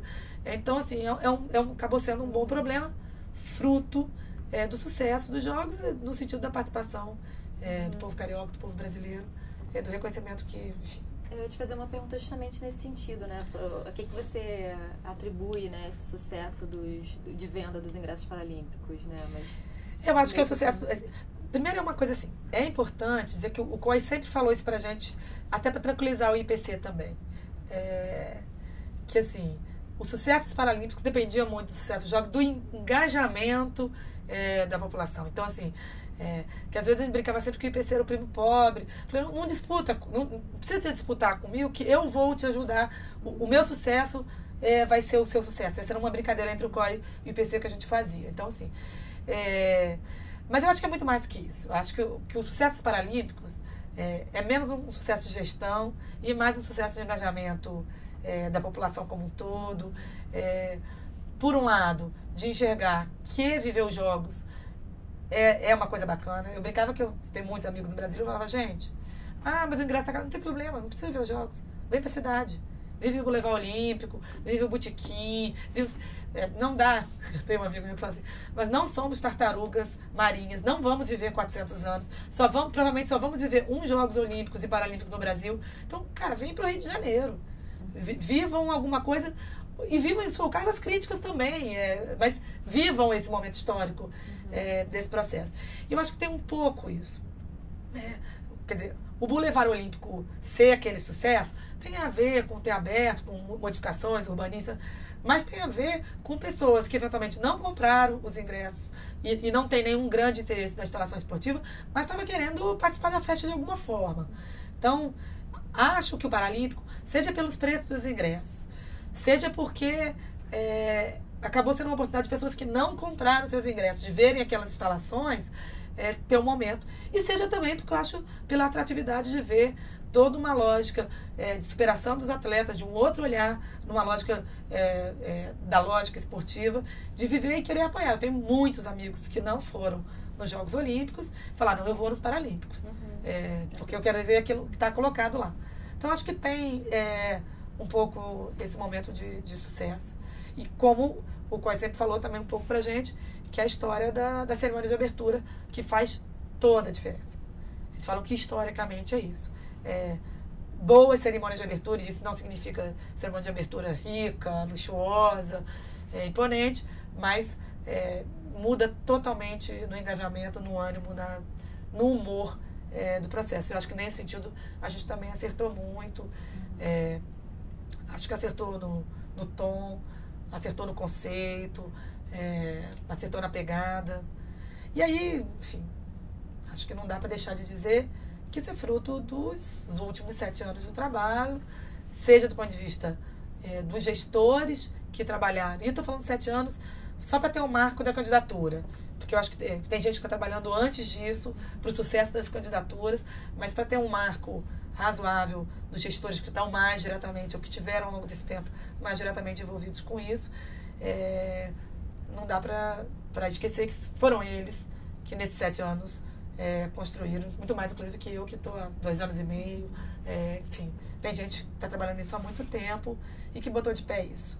E acho que a cerimônia de abertura, é, inclusive o conceito e a lógica dela, ela expressa é, um, um, pensamento de diversidade, um pensamento de inclusão, que expressa muito a cabeça desses últimos gestores dos últimos sete anos. Uhum. A Peola teve participação é, nas cerimônias de abertura e encerramento? Não. A cerimônia, assim, não, eu falei muito enfaticamente, mas assim, do ponto de vista do espetáculo que as pessoas pensam, ele é um espetáculo eminentemente, é, no caso ali, privado. Uhum. Ele foi privado, ele podia não, do ponto de vista do financiamento, podia ser diferente. Uhum mas inicialmente ele seria todo privado. Ele tem toda uma preocupação com o sigilo, com a surpresa. Então, tem muito cuidado para ter menos gente envolvida nesse processo. Teve uma discussão, isso inclusive estava na imprensa, da possibilidade, em função é, dos últimos meses, é, da dificuldade financeira do comitê, de ter um aporte do governo federal é, nesse, na cerimônia de abertura.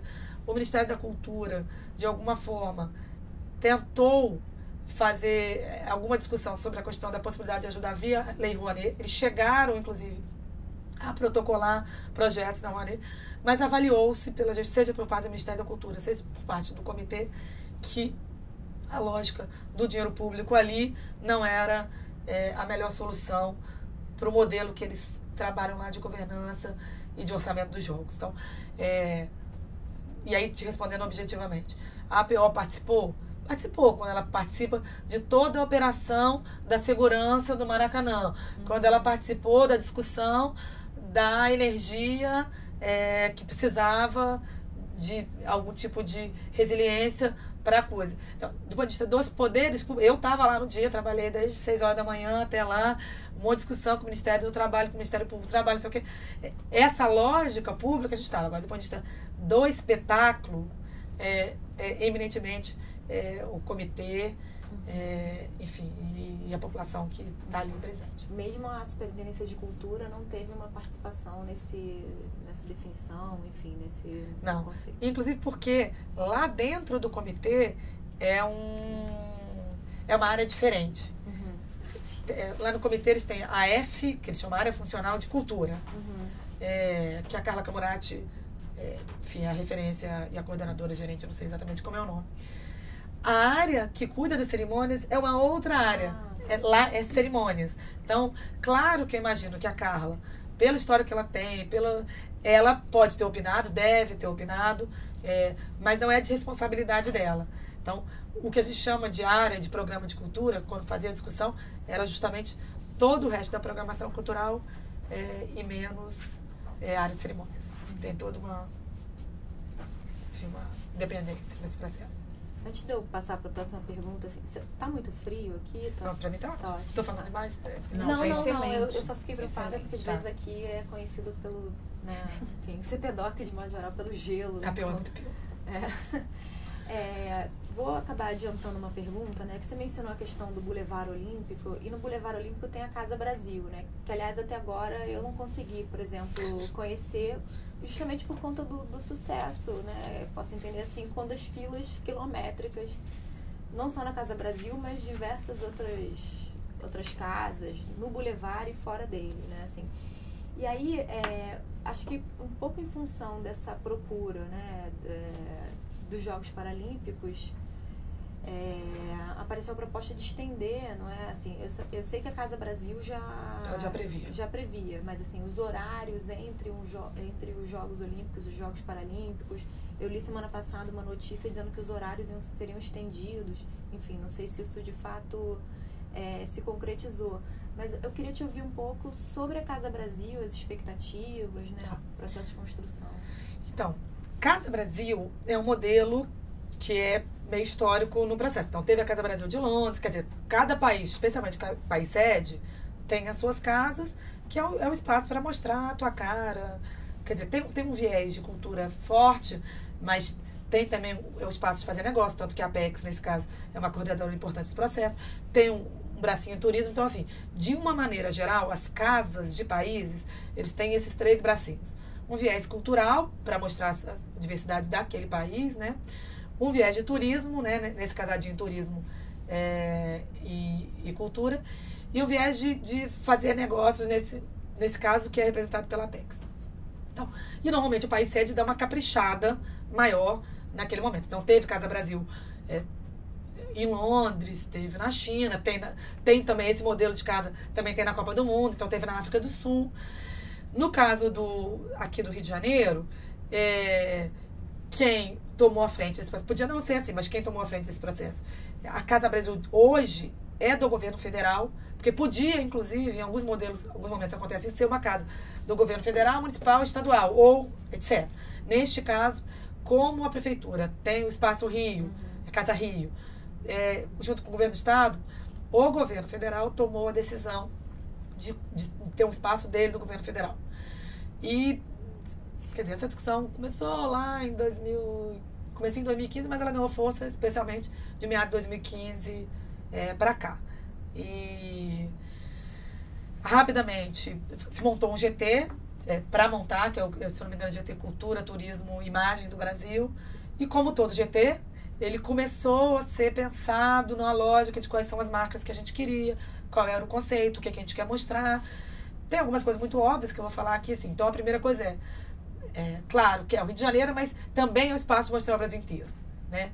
Então, desde sempre, a gente discutiu que teriam que ter é, manifestações culturais é, e turísticas que dessem conta, porque a gente sabe que é um espaço que as pessoas vão lá olhar. Então, é, uma coisa que eu acho que deu certo foi que a gente também envolveu os governos estaduais. Então, chega, chama o governo Pernambuco, não é só o governo federal lá e trazer o maracatu, o frevo.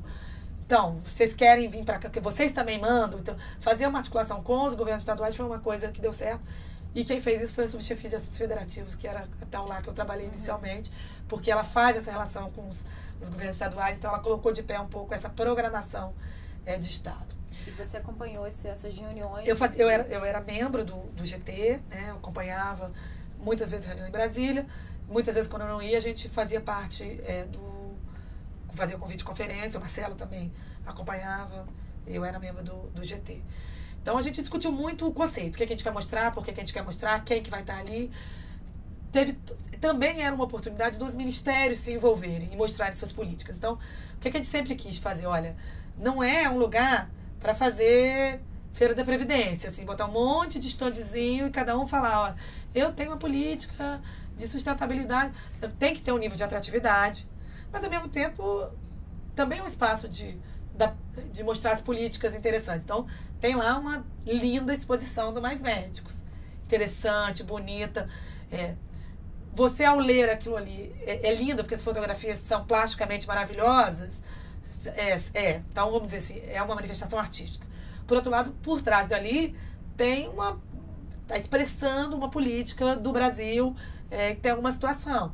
Então, é, é um pouco isso. Então, assim, os ministérios que quisessem se envolver, entendendo que aquilo é um espaço que precisava ter essa plasticidade esse, essa coisa interessante, que não é folheteria de, é, de governo, mas que pudesse trazer isso era uma coisa é, fundamental. Eu acho que assim foi se construindo o processo do ponto de vista do governo federal. Foi ofertado a todos os ministérios que pudessem trazer, alguns ministérios, mas obviamente tomaram a dianteira disso, foi isso que eu estou falando.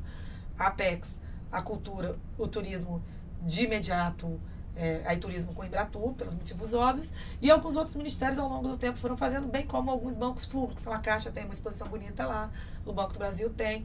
E aí também sempre fazendo esse, essa, esse link, né? A Caixa, é, historicamente, financia é, toda a discussão da, das pessoas com deficiência e do esporte paralímpico. Então, é, tem toda essa lógica. O Banco do Brasil tem todo o circuito dele, tem todo o circuito dele de de apoio a alguns esportes esport, é, específicos. Tem o vôlei de praia, tem umas. Então, assim, foi juntando uma coisa que fazia é, sentido no processo. Mas ao mesmo tempo a gente queria também tem, então, tem uns shows bacanas, tem as coisas que estão vindo. Então acho que acabou sendo uma, uma ideia que deu certo, que, volto a dizer, começou lá em 2015, na busca de como é que bota aquilo de pé, não é barato. Um pressuposto clássico que a gente sempre bateu o pé, tem que ser gratuito é, tem que ser de graça, tem que estar. Tá... E a outra, o outro desafio era colocar num lugar interessante. Então, assim, também fazer ali naquele espaço que a gente chama dos armazéns foi uma conquista importante. A gente discutiu longamente o espaço, onde fazer. Então, acho também que foi, foi um acerto importante ter colocado naquele espaço, porque era um espaço que já estava consagrado para estar tá, tá colocado. A APO, eu era membro Seja porque, enfim, porque a PO desde sempre é, quis participar desse processo. A gente sabia que ia ser difícil para a gente é, tornar alguma coisa interessante, assim, porque é muito mais fácil você fazer uma mega exposição, você contratar show, do que ficar contando história de gestão e de governança. É, então, mas a gente é, se propôs a montar um video wall a gente, o vídeo, não o equipamento em si, mas uhum. tem um programinha em que a gente coloca ali. Então a gente fez uma linha do tempo bacana, a gente fez, conversou com os ministérios e cada um foi colocando no próprio vídeo quais são as suas principais questões, de forma que fosse interativa. Então a gente montou isso. Tem um videozinho também que conta um pouquinho a história da governança da PO que está lá no vídeo. Então, claro que a gente tem uma participação muito mais tímida do que a gente imaginava, mas a gente se convenceu que não dava para a gente estar fora da Casa Brasil, porque a gente conta um pouco dessa história também. A Casa Brasil prevê também alguns seminários é, e palestras e tal. Então a gente ainda está discutindo, talvez a gente ainda faça, ainda para o Paralímpico, é, um workshop que fala de sistema, de governança, uhum. é, para o processo. Mas a gente reconhece que a gente tem muito menos glamour do que a maioria das coisas. Então, é, a gente tem uma participação tímida, mas, mas tem, porque acho que é uma coisa de registro, tem que entrar na história, e era importante a gente participar. E foi muito bom que os ministérios é, concordassem com isso, é, com a nossa entrada e com a nossa participação. Eu lembro do, da gente, na, em uma das visitas que a gente fez lá à PO, é, de vocês comentando que na Casa, da, na Casa Brasil teria o, o vídeo all, mas que teria um momento também para mostrar o software que vocês desenvolveram. Esse, esse seminário que eu tô te falando. Ah, esse seminário. Esse então isso não aconteceu ainda, né? Não, a gente ia... É, eu não sei exatamente como é que tá o prazo, mas eu acho que vai ficar para o dia 16 de setembro. Eu não sei exatamente. Uhum. Mas a ideia é montar um workshopzinho para mostrar... Uhum. É, é agora em setembro no Paralímpico. E qual é o público-alvo desse workshop? Então, na verdade, assim, tem algumas instituições que tem interesse em usar o, o que a gente está chamando de. Vou chamar de software, mas na verdade o sistema de acompanhamento e de monitoramento que a gente montou e que a gente vai ceder gratuitamente. A gente está naquela fase de registrar no NPI, pegar com o Exército, porque o nosso servidor de lá, a gente está na fase de regularizar de forma que a gente possa disponibilizar para quem quiser esse processo. Enquanto a gente não fizer isso, também não adianta a gente ficar divulgando e nem estar tá ofertando, porque se eu não conseguir colocar de pé é, essa possibilidade de registrar a marca, vai ficar todo mundo pendurado igual a gente, de não estar tá colocando. Então, assim, a ideia. Só que várias pessoas, já, várias instituições já nos procuram para isso. A Casa de Rui é uma a delas. A Casa de Rui é né? é uma delas. colocou a prefeitura. É, a, a, algumas pessoas, por exemplo, a Dani, que trabalhava com a gente na Superintendência de Cultura, Sim. ela quer levar para lá. Então, algumas pessoas que conhecem querem levar. O exército, uma parte quer levar também. E a gente não tem problema não, pode dar para todo mundo, porque foi dinheiro público, são salários públicos. Quanto mais gente usar, para a gente é mais, é mais interessante. Então, tem algumas é, prefeituras de Niterói, porque onde a gente faz propaganda e onde as pessoas conhecem, algumas se interessam, outras não. Então, eu ainda brinquei que assim, Dani falou que queria ir lá essa semana para para assistir. Eu falei, não, você só vai no nosso workshop para garantir público no nosso workshop. não vou mostrar para vocês antes, não, vou levar o pessoal, não. Então, então o público-alvo é justamente algumas instituições que, a princípio, de alguma forma, já mostraram interesse em ter o software e a gente vai estar convidando essas pessoas para ir, para ter um momento mais. Claro, sem nenhum prejuízo de mostrar depois ou antes, ou depois ter reunião de trabalho, que não vai ser numa, num workshop de uma ou duas horas que vai estar colocado. E, bom, é, e aí, assim, um pouco fazendo um gancho, né? Porque eu lembro muito do Marcelo Pedroso comentando que esse software era um legado né, dos Jogos Olímpicos, então já entrando nesse tema é, do legado, né? E, que é uma das palavras que mais aparece quando a gente fala dos Jogos Olímpicos e Paralímpicos, né? Na, uma das atribuições da PO é justamente planejar o uso né, do legado dos Jogos. E, e aí eu queria saber como é que essa ideia de legado apareceu no processo de construção dos Jogos Rio 2016, né? Tanto do ponto de vista do Olímpico quanto do Paralímpico. Tá. Quer dizer, a, essa fala forte de legado, ela sempre teve presente desde o do, do, do de candidatura. Quer dizer, uhum. é, inclusive eu acho que é uma das é, fortalezas para ter garantido é, a vitória do Rio de Janeiro. Assim, vou dar, falar novidade nenhuma para vocês, acho que várias pessoas já falaram isso, que eh, o Rio de Janeiro não era favorito para ganhar. Se a gente fosse pensar bonitinho, quais as cidades estavam mais preparadas para estar tá, é, vencendo esses jogos, sediando esses jogos, o Rio de Janeiro não estava na frente de algumas cidades que eram estavam muito mais preparadas do ponto de vista é, da malha é, rodo ferroviária e metroviária, do ponto de vista das próprias instalações. É, acho que o, é, o discurso da Fortaleza é a Olimpíada ela vai ser uma oportunidade e do Rio de Janeiro alavancar algumas situações que, se não fosse para as Olimpíadas, a gente não teria esse sucesso. Seja do ponto de vista econômico, seja do ponto de vista social. E aí, nesse sentido, gerar legados é, seria um, um, dos sucessos do processo. Então, assim, é, é o, dizer, esse viés, esse eixo legado, sempre foi um, um eixo muito forte no discurso é, do dossiê de candidatura.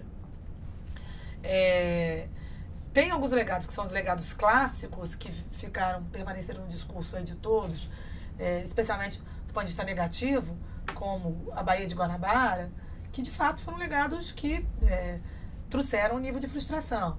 Por mais que a gente fale, e de fato é isso, que houve avanços na, na discussão da despoluição da Baía de Guanabara, saindo de índices muito pequenos, que saíram, sei lá, de 11% para 51%, varia um pouco. É, o compromisso não era esse. O compromisso foi a despoluição total em determinado momento e depois chegou um momento que o próprio discurso se ajustou para 80%. Então, não chegamos perto é, desse processo. É, mas o quanto a gente vai medir que ter chegado nos 50% foi fruto, quer dizer, se não tivesse Olimpíadas, talvez não tivesse nada, estaria nos 11% ainda, nos 13% ou nos 15%. É, é uma outra discussão que está colocada. Então, assim, eu, Juliana, não tenho dúvidas é, desse discurso que sim, a Olimpíada alavanca. Ah, é, e é um discurso que se mistura muito com a discussão orçamentária. É, o dinheiro, é, eu não tenho dúvida que o dinheiro que foi para a Olimpíada não era o dinheiro que era para a saúde nem para a educação no Rio de Janeiro. Talvez é, a gente tenha, quer dizer, esteja, do ponto de vista da, do Brasil, tirando dinheiro de outros estados. O governo federal botou dinheiro no Rio de Janeiro, preferencialmente, em relação a outros estados que está colocado e tem algum desequilíbrio econômico financeiro na lógica, mas assim, é, o Rio, de fato, foi beneficiado, inclusive do ponto de vista de legado. É, acho que os legados mais óbvios que estão colocados são os legados na, na, na questão da mobilidade, que acho que talvez são os mais visíveis. Então, acho que a gente pode dividir aqui um pouco entre o legado que é chamado tangível e intangível. Então, do ponto de vista dos visíveis, se for olhar lá é, o mapinha é, da malha de BRT, do próprio metrô, é, de VLT, é óbvio, então não tinha VLT, tem VLT não tinha várias, não tinha BRT, tem BRT. Não tinha metrô, tem metrô. Claro que a gente pode fazer uma longa discussão aqui se é, a linha do metrô está no, no, melhor percurso para alcançar e propiciar a população é, do carioca, se não era melhor ter feito uma outra linha e essa discussão vai embora. Bom, é um financiamento e, portanto, nesse caso do financiamento, é, você tem um nível de endividamento é, do, governo, do governo estadual. E aí sim pode fazer essa discussão de que está, de alguma forma, tirando dinheiro dessa educação, porque você incorpora um financiamento que está colocado. É, mas, de fato, se não tivesse Olimpíadas, talvez não saísse financiamento para o metrô e não saísse para coisa nenhuma. Então, assim. É, e acho, isso eu falo com muita tranquilidade, que nesse processo toda a discussão e as pressões que a sociedade fez que devia fazer e que deve continuar fazendo na discussão é fundamental. Porque talvez se não tivesse é, todo esse nível de mobilização que teve de crítica, é, algumas coisas fossem mais frouxas, talvez não fosse tão com nível de transparência, algumas pessoas falam que não tem, mas pelo menos esse nível de transparência teve colocado. Então, assim, então, voltando um pouco mais assim, então, do ponto de vista do, do legado de, mobilidade, é, para mim é muito óbvio, é, do ponto de vista da instalação, das instalações. É, o modelo, quer dizer, Deodoro também é muito claro, especialmente a questão do que a gente chama de parque radical, que é o parque que vai ficar para a população e uma população carente, aquela área é uma população carente. Então, de fato, acho que está na hora agora da gente continuar exigindo para que o modelo que fique ali seja um, modelo é, que garanta a gratuidade, que garanta o nível de, de inclusão e de participação como uma área de lazer importante para aquela, aquela população. Acho que vai ser, porque já foi um pouco assim, vai ser. É, e o resto das instalações que foram melhoradas ali é um bem bolado, da, vai ser um bem bolado da prefeitura, é, desculpa, do, do governo federal com o exército é, que vai estar colocado. No Parque Olímpico, o modelo pensado foi um modelo, é, como diz o prefeito, que incorpora muito a questão privada, a PPP. Então, Uhum. quando ele fala de maneira muito forte que é, a maioria dos jogos, do ponto de vista orçamentário, os jogos, ele tem mais dinheiro privado do que dinheiro público, isso espelha no futuro. Então, o Parque Olímpico, depois, um pedaço vai ficar é, com alguma coisa de instalação esportiva, mas a grande maioria vai ser é, prédios, seja comerciais, seja residenciais, é, numa lógica da iniciativa privada, porque é, foi pensado para ser isso, porque o gasto inicial de toda a infraestrutura foi, foi feito assim. Então, assim, é, eu acho que seja do ponto de vista. E aí podíamos dar alguns outros exemplos. É, o, o, o antigo é, lixão de, dizer, de- o, que, o que virou gramacho, o antigo lixão, os piscinões. é, quer dizer, tem uma listinha que é dito e não dito por vários. É, os piscinões lá de, do Maracanã. Tem, tem muitos ganhos de obras é, colocadas. Dos legados intangíveis, acho que alguns estudos ainda vão trazer mais, seja do ponto de vista do impacto econômico, seja do ponto de vista do impacto turístico desse processo. É, acho que tem algumas coisas que vão poder, mais ao longo do tempo, ser medidos melhor é, por estudos que eu acho que de imediato assim a gente não está colocado. Eu vou aproveitar aqui para para falar um pouco do legado cultural, que acho que eu vou arriscar aqui um pouco, me posicionar um pouco mais. Eu acho que a gente perdeu uma oportunidade importante da discussão é, do legado da, da cultura. É, o programa, quer dizer, é, acho que o programa da prefeitura, o programa que a prefeitura pensou, foi muito bem executado. É, acho que a prefeitura planejou e executou bem os seus processos, é, seja at- através dos editais, no sentido de dar oportunidade aos os grupos artísticos que estão colocados aqui. Acho que ela dividiu bem a cidade no que está colocado. Então, pensando Madureira, pensando Boulevard, pensando. Ela vem trabalhando não só no período dos Jogos Olímpicos Paralímpicos, ela já vem trabalhando isso ao longo do tempo. Então, acho que a prefeitura teve um certo sucesso. Acho que o governo do Estado, em função da crise que ele está vivendo, eh, teve uma dificuldade maior eh, de, de, de- de colocar de pé as suas colocações. Acho que eles trabalharam bem com a integração. Então, por exemplo, especialmente com o governo federal, eles solicitaram que algumas manifestações do interior do estado, eh, Bois Pintadins, alguns grupos mais eh, tradicionais do interior do estado, tivessem previsto na, na, na programação. É, acho que o comitê, ele, a, a, dizer, a dificuldade financeira que o comitê passou nos últimos seis meses é, trouxe um real prejuízo para o programa de cultura, porque, na verdade, é, nessa hora, infelizmente, no nosso país, o que primeiro vai sendo cortado são as, as questões ligadas à cultura. Então, como o comitê de fato passou uma dificuldade financeira, ele foi deixando de pé aquilo que ele considerava como sendo essencial. É, ponto de vista é, dos atletas, então, é uniforme, é comida, é vila, não sei das quantas. E o programa de cultura, que tinha um orçamento reservado para o comitê, acabou não ficando de pé. Por exemplo, acho que uma oportunidade perdida é o que a gente chama de Sport Presentation.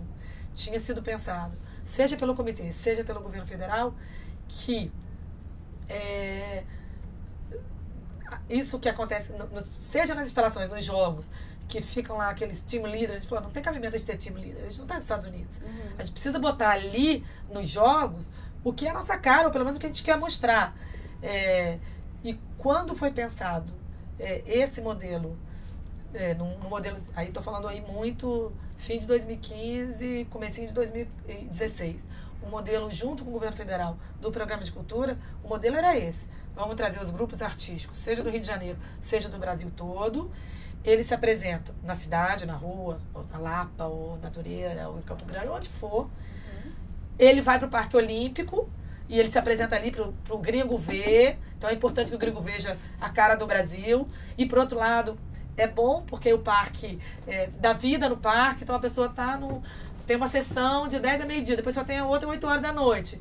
Em vez de ficar só lá na loja do, da Coca-Cola do McDonald's, você tem ali o tempo todo dando vida. Então, ele vai em Deodoro. Então, é, esse cara que você está trazendo lá do Recife, do Maranhão, do Pará, de onde você, você faz esse circuito. Para ele é bom, porque ele ganha público. É, para os espaços. E, e a gente faz a nossa cara. Tá? Isso eu acho que foi uma das coisas, vocês não perguntaram, não sei se vai perguntar, mas é uma coisa que isso, foi, isso era uma proposta do Ministério da Cultura ainda durante a gestão da presidenta Dilma. Isso era uma proposta da gestão do, do, do ministro, do ministro Juca. É. Ah. Tinha um programa. Se, se vocês forem olhar, o programa que o ministro Juca anunciou, uhum. é, já não me lembro que dia, mas acho que era em maio, se não me engano. Não, antes, abril, sei lá, não me lembro mais. Tinha essa proposta num combinado com o comitê. Que esse modelo que a gente chama de Sport Presentation é, seria um pouco esse bem bolado, é, que, a, quer dizer, a manifestação artística cultural é a cara do Brasil, por um lado, você garantiria a diversidade, e por outro lado, você ajudaria o comitê a fazer isso. Tirando uma parte que a gente brinca lá, que é para conter o público, porque assim, é, quando foi é pensado nisso, eu pensei conter inclusive multidão. Sai todo mundo, acabou a sessão 8 horas da noite. Então, aí cai todo mundo no BRT 8 horas da noite. Não, faz uma apresentaçãozinha aqui, um pedaço vai, outro pedaço fica. Então, tinha toda uma operação é, montada para ser pensada. Então, acho que isso é uma coisa para os Jogos Olímpicos. Eu não sei no detalhe, confesso que eu não sei mesmo, é, como é que se ficou Paralímpico. Porque o que foi dito é, na última entrevista é, pela nova gestão do Ministério da Cultura é que, em função de uma série de questões é, do, de processos burocráticos, eles optaram em manter um pedaço da programação cultural para os Jogos, mas de fortalecer ainda mais é, o Paralímpico. Então, parte dessa programação que seria para os Jogos ficaria no Paralímpicos. Então, assim, estamos é, torcendo para que parte disso fique. Mas eu acho que, é, do ponto de vista cultural, a gente perdeu uma oportunidade importante de estar tá fazendo essa rede, é, esse processo aí para a cidade e para as pessoas que viveram aqui. Mas é, é, retomando esse, essa ideia, né, a curadoria, então, é, das apresentações, dos shows, então, que é, iam acontecer, que aconteceram nas instalações, era do Ministério da Cultura, do ministro Juca Ferreira, né? Porque, assim, eu, eu tive a oportunidade de ir um dia no Parque Olímpico, num domingo, e eu lembro que após uma transmissão do vôlei de praia, é, teve um show é, do Dream Team do Passinho, né? Então, assim, é, um pouco é, mostrando funk carioca, né, naquele palco. Isso era uma curadoria que já vinha do, do, do Ministério da Cultura ou foi o comitê que então, eu não consigo dizer não? sobre isso exatamente sobre essa situação eu não consigo não assim essa situação é só um é, exemplo porque eu sei assim, assim alguma das situações, que é isso que a gente chama de sport presentation, entre uhum. é, que ficaram, algumas foram contratação do próprio comitê, com algum dinheiro que ainda ficou, especialmente da área de esporte, então parte disso. Uhum. É, no vôlei de praia também tinha uma bateria de escola de samba, é, tinha algumas é. coisas, não estou dizendo que não, mas parte. O comitê é, ainda guardou um dinheirinho para isso. Sei que é isso que eu tinha falado, que alguma coisa do programa de cultura é, ficou não na intensidade uhum. que tinha sido pensada inicialmente, é, que eles reajustaram um pouco, dividiram, deram um peso maior na programação para o Paralímpico e alguma coisa. Então, eu não sei se esse, essa discussão, esse espetáculo específico do, do Passinho estava é, no, tava no viés do, do, do, programa do Ministério ou do comitê propriamente dito. É, o que eu é, quis registrar aqui é que eu acho que a intensidade pensada inicialmente é, não, foi, não, não ganhou essa dimensão, e aí eu acho que isso é uma coisa meio óbvia do próprio parque, quem foi a Deodoro, que foi. Era para ter uma intensidade maior. É, e aí não estou necessariamente falando é, de gestão, estou falando de oportunidade porque eu fiz esse link com a questão do legado. Então, é, voltando aqui à questão do legado, então é, falei um pouco do legado do ponto de vista intangível. Tem essas dimensões que eu falei, turísticas e econômicas, que eu não sei mensurar agora. Eu acho que tem pouca gente tem estudo ainda, acho que vai precisar um pouquinho de tempo. E do ponto de vista cultural, acho que a Casa Brasil foi o case de sucesso. Foi, em dúvida, se eu não me engano, já bateu 300, ontem bateu 300 mil é, visitantes. É, mas acho que, é, do ponto de vista cultural, a gente perdeu essa oportunidade. E aí, pensando mais nessa coisa de comitê e governo federal. Acho que a prefeitura, o governo do estado já não tinha se proposto a ter nada é, muito grande, foi do tamanho possível, e a prefeitura fez o que se programou, é, que está colocado. Agora também é isso, né? do ponto de vista cultural, é, o povo faz, faz o processo. Estou falando daquilo que é, é de alguma maneira, direcionado ou pensado pelos poderes públicos. É, o resto está na rua, uhum. as pessoas interagem é, e o sucesso está nas redes e no que está de engajamento de cada um. Uhum. E, e, pensando ainda na questão do legado, né, assim, desse planejamento do uso do legado, tá. do ponto de vista prático, como é que é essa essa produção desse planejamento do uso do tá. legado tá. por parte da APO? Então vamos lá, e agora falando de APO. O que está na lei é que a gente é, precisa, precisou fazer, nós fizemos, depois eu falo, semana passada entregamos, o planejamento do uso do legado. E aí a lógica do planejamento é isso, quer dizer, é ajudar, coordenar, participar e articular com os entes o processo. Quer dizer, o planejamento é o processo. A gente, desde 2012, começou a participar de um grupo de trabalho que era coordenado pelo Ministério do Esporte, que chamava GT Planejamento, GT Legado Estratégico, e a gente era participante.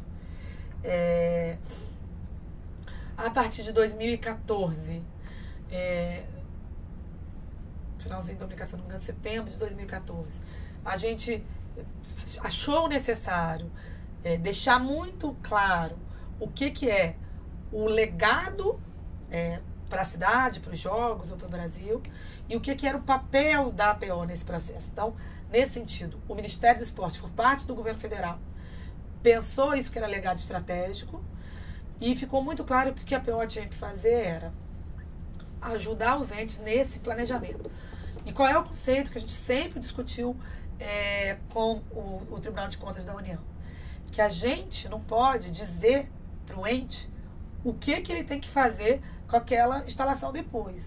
Portanto, quem tem que saber se a, a instalação do handball, a arena do futuro, vai virar escola ou posto de saúde, é a prefeitura. Ela que sabe ali se está precisando de escola ou de posto de saúde. Ela que tem a dimensão da política pública que está colocada. O que, que a PO tem que fazer? Garantir que, quando acabar os jogos, aquilo não vai ficar um elefante branco para ficar 10 anos discutindo se é escola ou posto de saúde. A PO tem que garantir que a dimensão é, desse planejamento tenha levado em conta dimensão econômica, social e financeira. Que o desmonte ou não seja é, o dobro do preço do que foi montado. Que, do ponto de vista sustentável, você não vai pegar aquele bando de ferro e jogar dentro da Baía de Guanabara. Estou aqui falando um monte de uhum. caricatura, uhum. mas então o que a gente precisava fazer é assim, acompanhar o processo de planejamento e saber exatamente se aquele desmonte ou aquele retrofit teve uma dimensão econômica, se economicamente foi pensado, se já está pensado o modelo de gestão de que depois, se vai virar posto de saúde, se tem concurso pensado para médico. Porque não adianta você fazer um posto de saúde e não ter médico, não ter é, nenhum outro tipo de dimensão. Então, esse era o processo da responsabilidade. Então, essa era uma coisa muito importante, que foi uma vitória para a gente, não vou falar convencer o Tribunal de Contas, que ninguém convence, uhum. mas ter é, a compreensão é, de pé de que é, não é a gente a dizer. O que a gente tem obrigação é de ajudar na compreensão e de garantir que eles estejam pensando nisso. E de cutucá-los para que eles estejam pensando nessas dimensões colocadas. Então, essa é a primeira coisa. Uma segunda coisa que foi fundamental na nossa compreensão com o Tribunal de Contas é que a gente só ia acompanhar o que está na matriz de responsabilidade, que são consideradas instalações exclusivas, exclusivas para os jogos. Porque assim, eu não preciso ficar fazendo uma tese de doutorado por que, que o metrô é um legado para. O metrô é, é meio é, natural. O legado do metrô é o legado do metrô. É, o que o metrô. Eu não preciso explicar, inclusive, os fracassos. Por que, que seria legado a, população, é, a, a Baía de Guanabara é, ser despoluída? Já está dado os legados que estão colocados. Eu preciso explicar é, qual é o planejamento da instalação, que seria elefante branco. Então, assim, então nós temos dois bracinhos que a PO são os grandes orientadores nossos. A gente não diz, quer dizer, federativamente quem diz é o ente, por outro lado, a gente está restrito a matriz de responsabilidade. Diante disso, a gente fez um grupo é, durante dois anos, a gente sentava com o Estado, município e o governo federal e discutia isso. A gente fez dois relatórios situacionais, nem sempre foi fácil. É, determinado momento, especialmente o governo federal, demorou muito a discutir qual era o modelo dele. É, primeiro ia ser uma universidade que ia gerir tudo, depois virou uma OS, depois. Então foi difícil, é, teve muita mudança de gestão do, do governo federal. A prefeitura também, por seu lado, dependia do governo federal para discutir alguma coisa, especialmente no Parque da Barra. E aí, finalmente, no fim do ano passado, o prefeito avançou na discussão é, lá de colocar um PSI de, de, de, de pé. É, e aí, finalmente, eu acho que aí, seja por forças é, dos órgãos de controle, seja porque os jogos foram chegando, seja porque os governos sentaram, finalmente, nos dois últimos meses, eles puderam estar tá apresentando de fato que, qual é a proposta deles é, para o processo e a gente pôde é, avançar numa certa avaliação nossa é, se o planejamento, claro que a gente veio conversando no processo inteiro, a gente não ia fazer uma. A gente não é um auditor, a gente não é um, uma banca para dizer se aquilo estava certo ou estava errado, mas a gente foi é, acompanhando e vendo e eventualmente até fazendo algumas proposições é, no processo. Então, na semana passada, a gente tinha o prazo de entregar, seja para o Tribunal de Contas, seja porque acabou judicializando a proposta para a Justiça, é, o nosso pool. É, eu acho, e eu estou falando isso com bastante sinceridade, que a gente cumpriu o que está na lei. Eu acho que, seja porque eu acho que os entes também cumpriram e nos possibilitaram, que a gente podia simplesmente falar o seguinte: impossível fazer esse trabalho, porque a gente não tem o que avaliar, porque ninguém apresentou nada. Eu acho que, especialmente nos últimos meses, eles conseguiram avançar é, na proposta. É, tem lacunas ainda. Nós pro, procuramos no no projeto, sinalizar onde a gente acha que precisava agilizar. É, mas acho que as condições estão dadas para não ter elefantes brancos. Assim, pode parar? Pode. Pode aquilo que eles escreveram não, tá, é, não se colocar? Pode. Tudo pode. Mas assim, é, as propostas estão colocadas, as condições estão colocadas, é, tem um modelo de gestão é, pensado. É, e acho que, do ponto de vista de legado, com esse foco nosso para a matriz, as grandes questões estão resolvidas, seja do Parque Olímpico, seja de Deodoro. E nessas discussões sobre legado, né, é, houve participação de alguma representação da sociedade civil? Então, no começo, daquilo que a gente tinha falado de discussão é, do legado estratégico, houve na, naquelas, é, naqueles seminários que o Ministério do Esporte coordenou. Aí eu estou falando, se não me engano, é de 2012, 2013. Então teve uma participação. Agora, era uma dimensão ainda daquilo que a gente está chamando de legado estratégico. É, pensando a cidade como um todo, os grandes legados que estão colocados. Do ponto de vista da governança mais específica é, da APO, não. Por quê? Porque a gente foi cada vez mais é, tentando cumprir o nosso dever legal, que é esse planejamento. É, para ser sincera, a gente no é, a gente tinha previsto dois momentos, um momento em que a gente pudesse é, discutir mais com os entes e depois, num segundo momento, ter essa abertura da sociedade civil. Se você for olhar, inclusive, é, no que a gente chama de R1, que é o nosso relatório 1, a gente diz isso. Que no R2 a gente vai chamar a universidade, vai chamar o movimento social, a gente vai chamar, enfim, a sociedade civil como um todo, para é, discutir. Chegamos a conversar. Quando eu falei não, não de maneira organizada. Chegamos a conversar várias bilaterais com vários especialistas e com a gente participava dos fóruns. Então, assim, é, que a gente tenha puxado, não, mas tem vários fóruns que a própria sociedade se organizou, seja universidade, seja em assembleia legislativa, a gente ia, a gente às vezes fazia parte da mesa, às vezes não fazia parte da mesa, é, mas o desejo original, o desenho original que a gente tinha feito, que era entregar um pool no primeiro momento e depois fazer uma discussão mais é, organizada. A gente não fez. É, e aí eu acho que foi muito por conta é, dos tempos mesmo, né? Na verdade, é, de maneira mais concreta, tem lá, um mês, 15 dias, um pouco menos, é, que especialmente o governo federal conseguiu colocar mais de pé a sua proposta e a gente tinha um prazo. Eu não posso fazer um planejamento de uso do legado depois dos jogos. A gente tinha um prazo e a gente acabou cumprindo. É, acho que algumas das proposições que a gente fez sinalizam um pouco para isso. Uhum. Para, nesse segundo momento, é, os entes conversarem um pouco mais, aprimorarem, sair e, e ter uma discussão um pouco mais coletiva. A gente tem técnicos importantes que sinalizam para isso, mas ter uma coisa mais coletiva, ter um, um outro olhar, ter aquele tempinho de gaveta para depois você voltar é, é, fundamental. Eu acho que é, mais do que necessário é fundamental. Eu estava é, retomando essa questão do, da mudança, né? Nos últimos meses a gente teve o afastamento da presidenta Dilma, né? E o Michel Temer assumiu como presidente interino, né? É, do ponto de vista do legado, essa mudança no governo federal, né? Porque assim, o meu entendimento é que no governo federal é que a gente tem uma mudança expressiva de, de linha, né? Na prefeitura a gente tem o Eduardo Paes à frente de todo o processo. No governo do estado a gente tem o mesmo grupo político assumindo, por mais que não sei se caso tenha você, se você quiser comentar também se teve alguma mudança no governo estadual.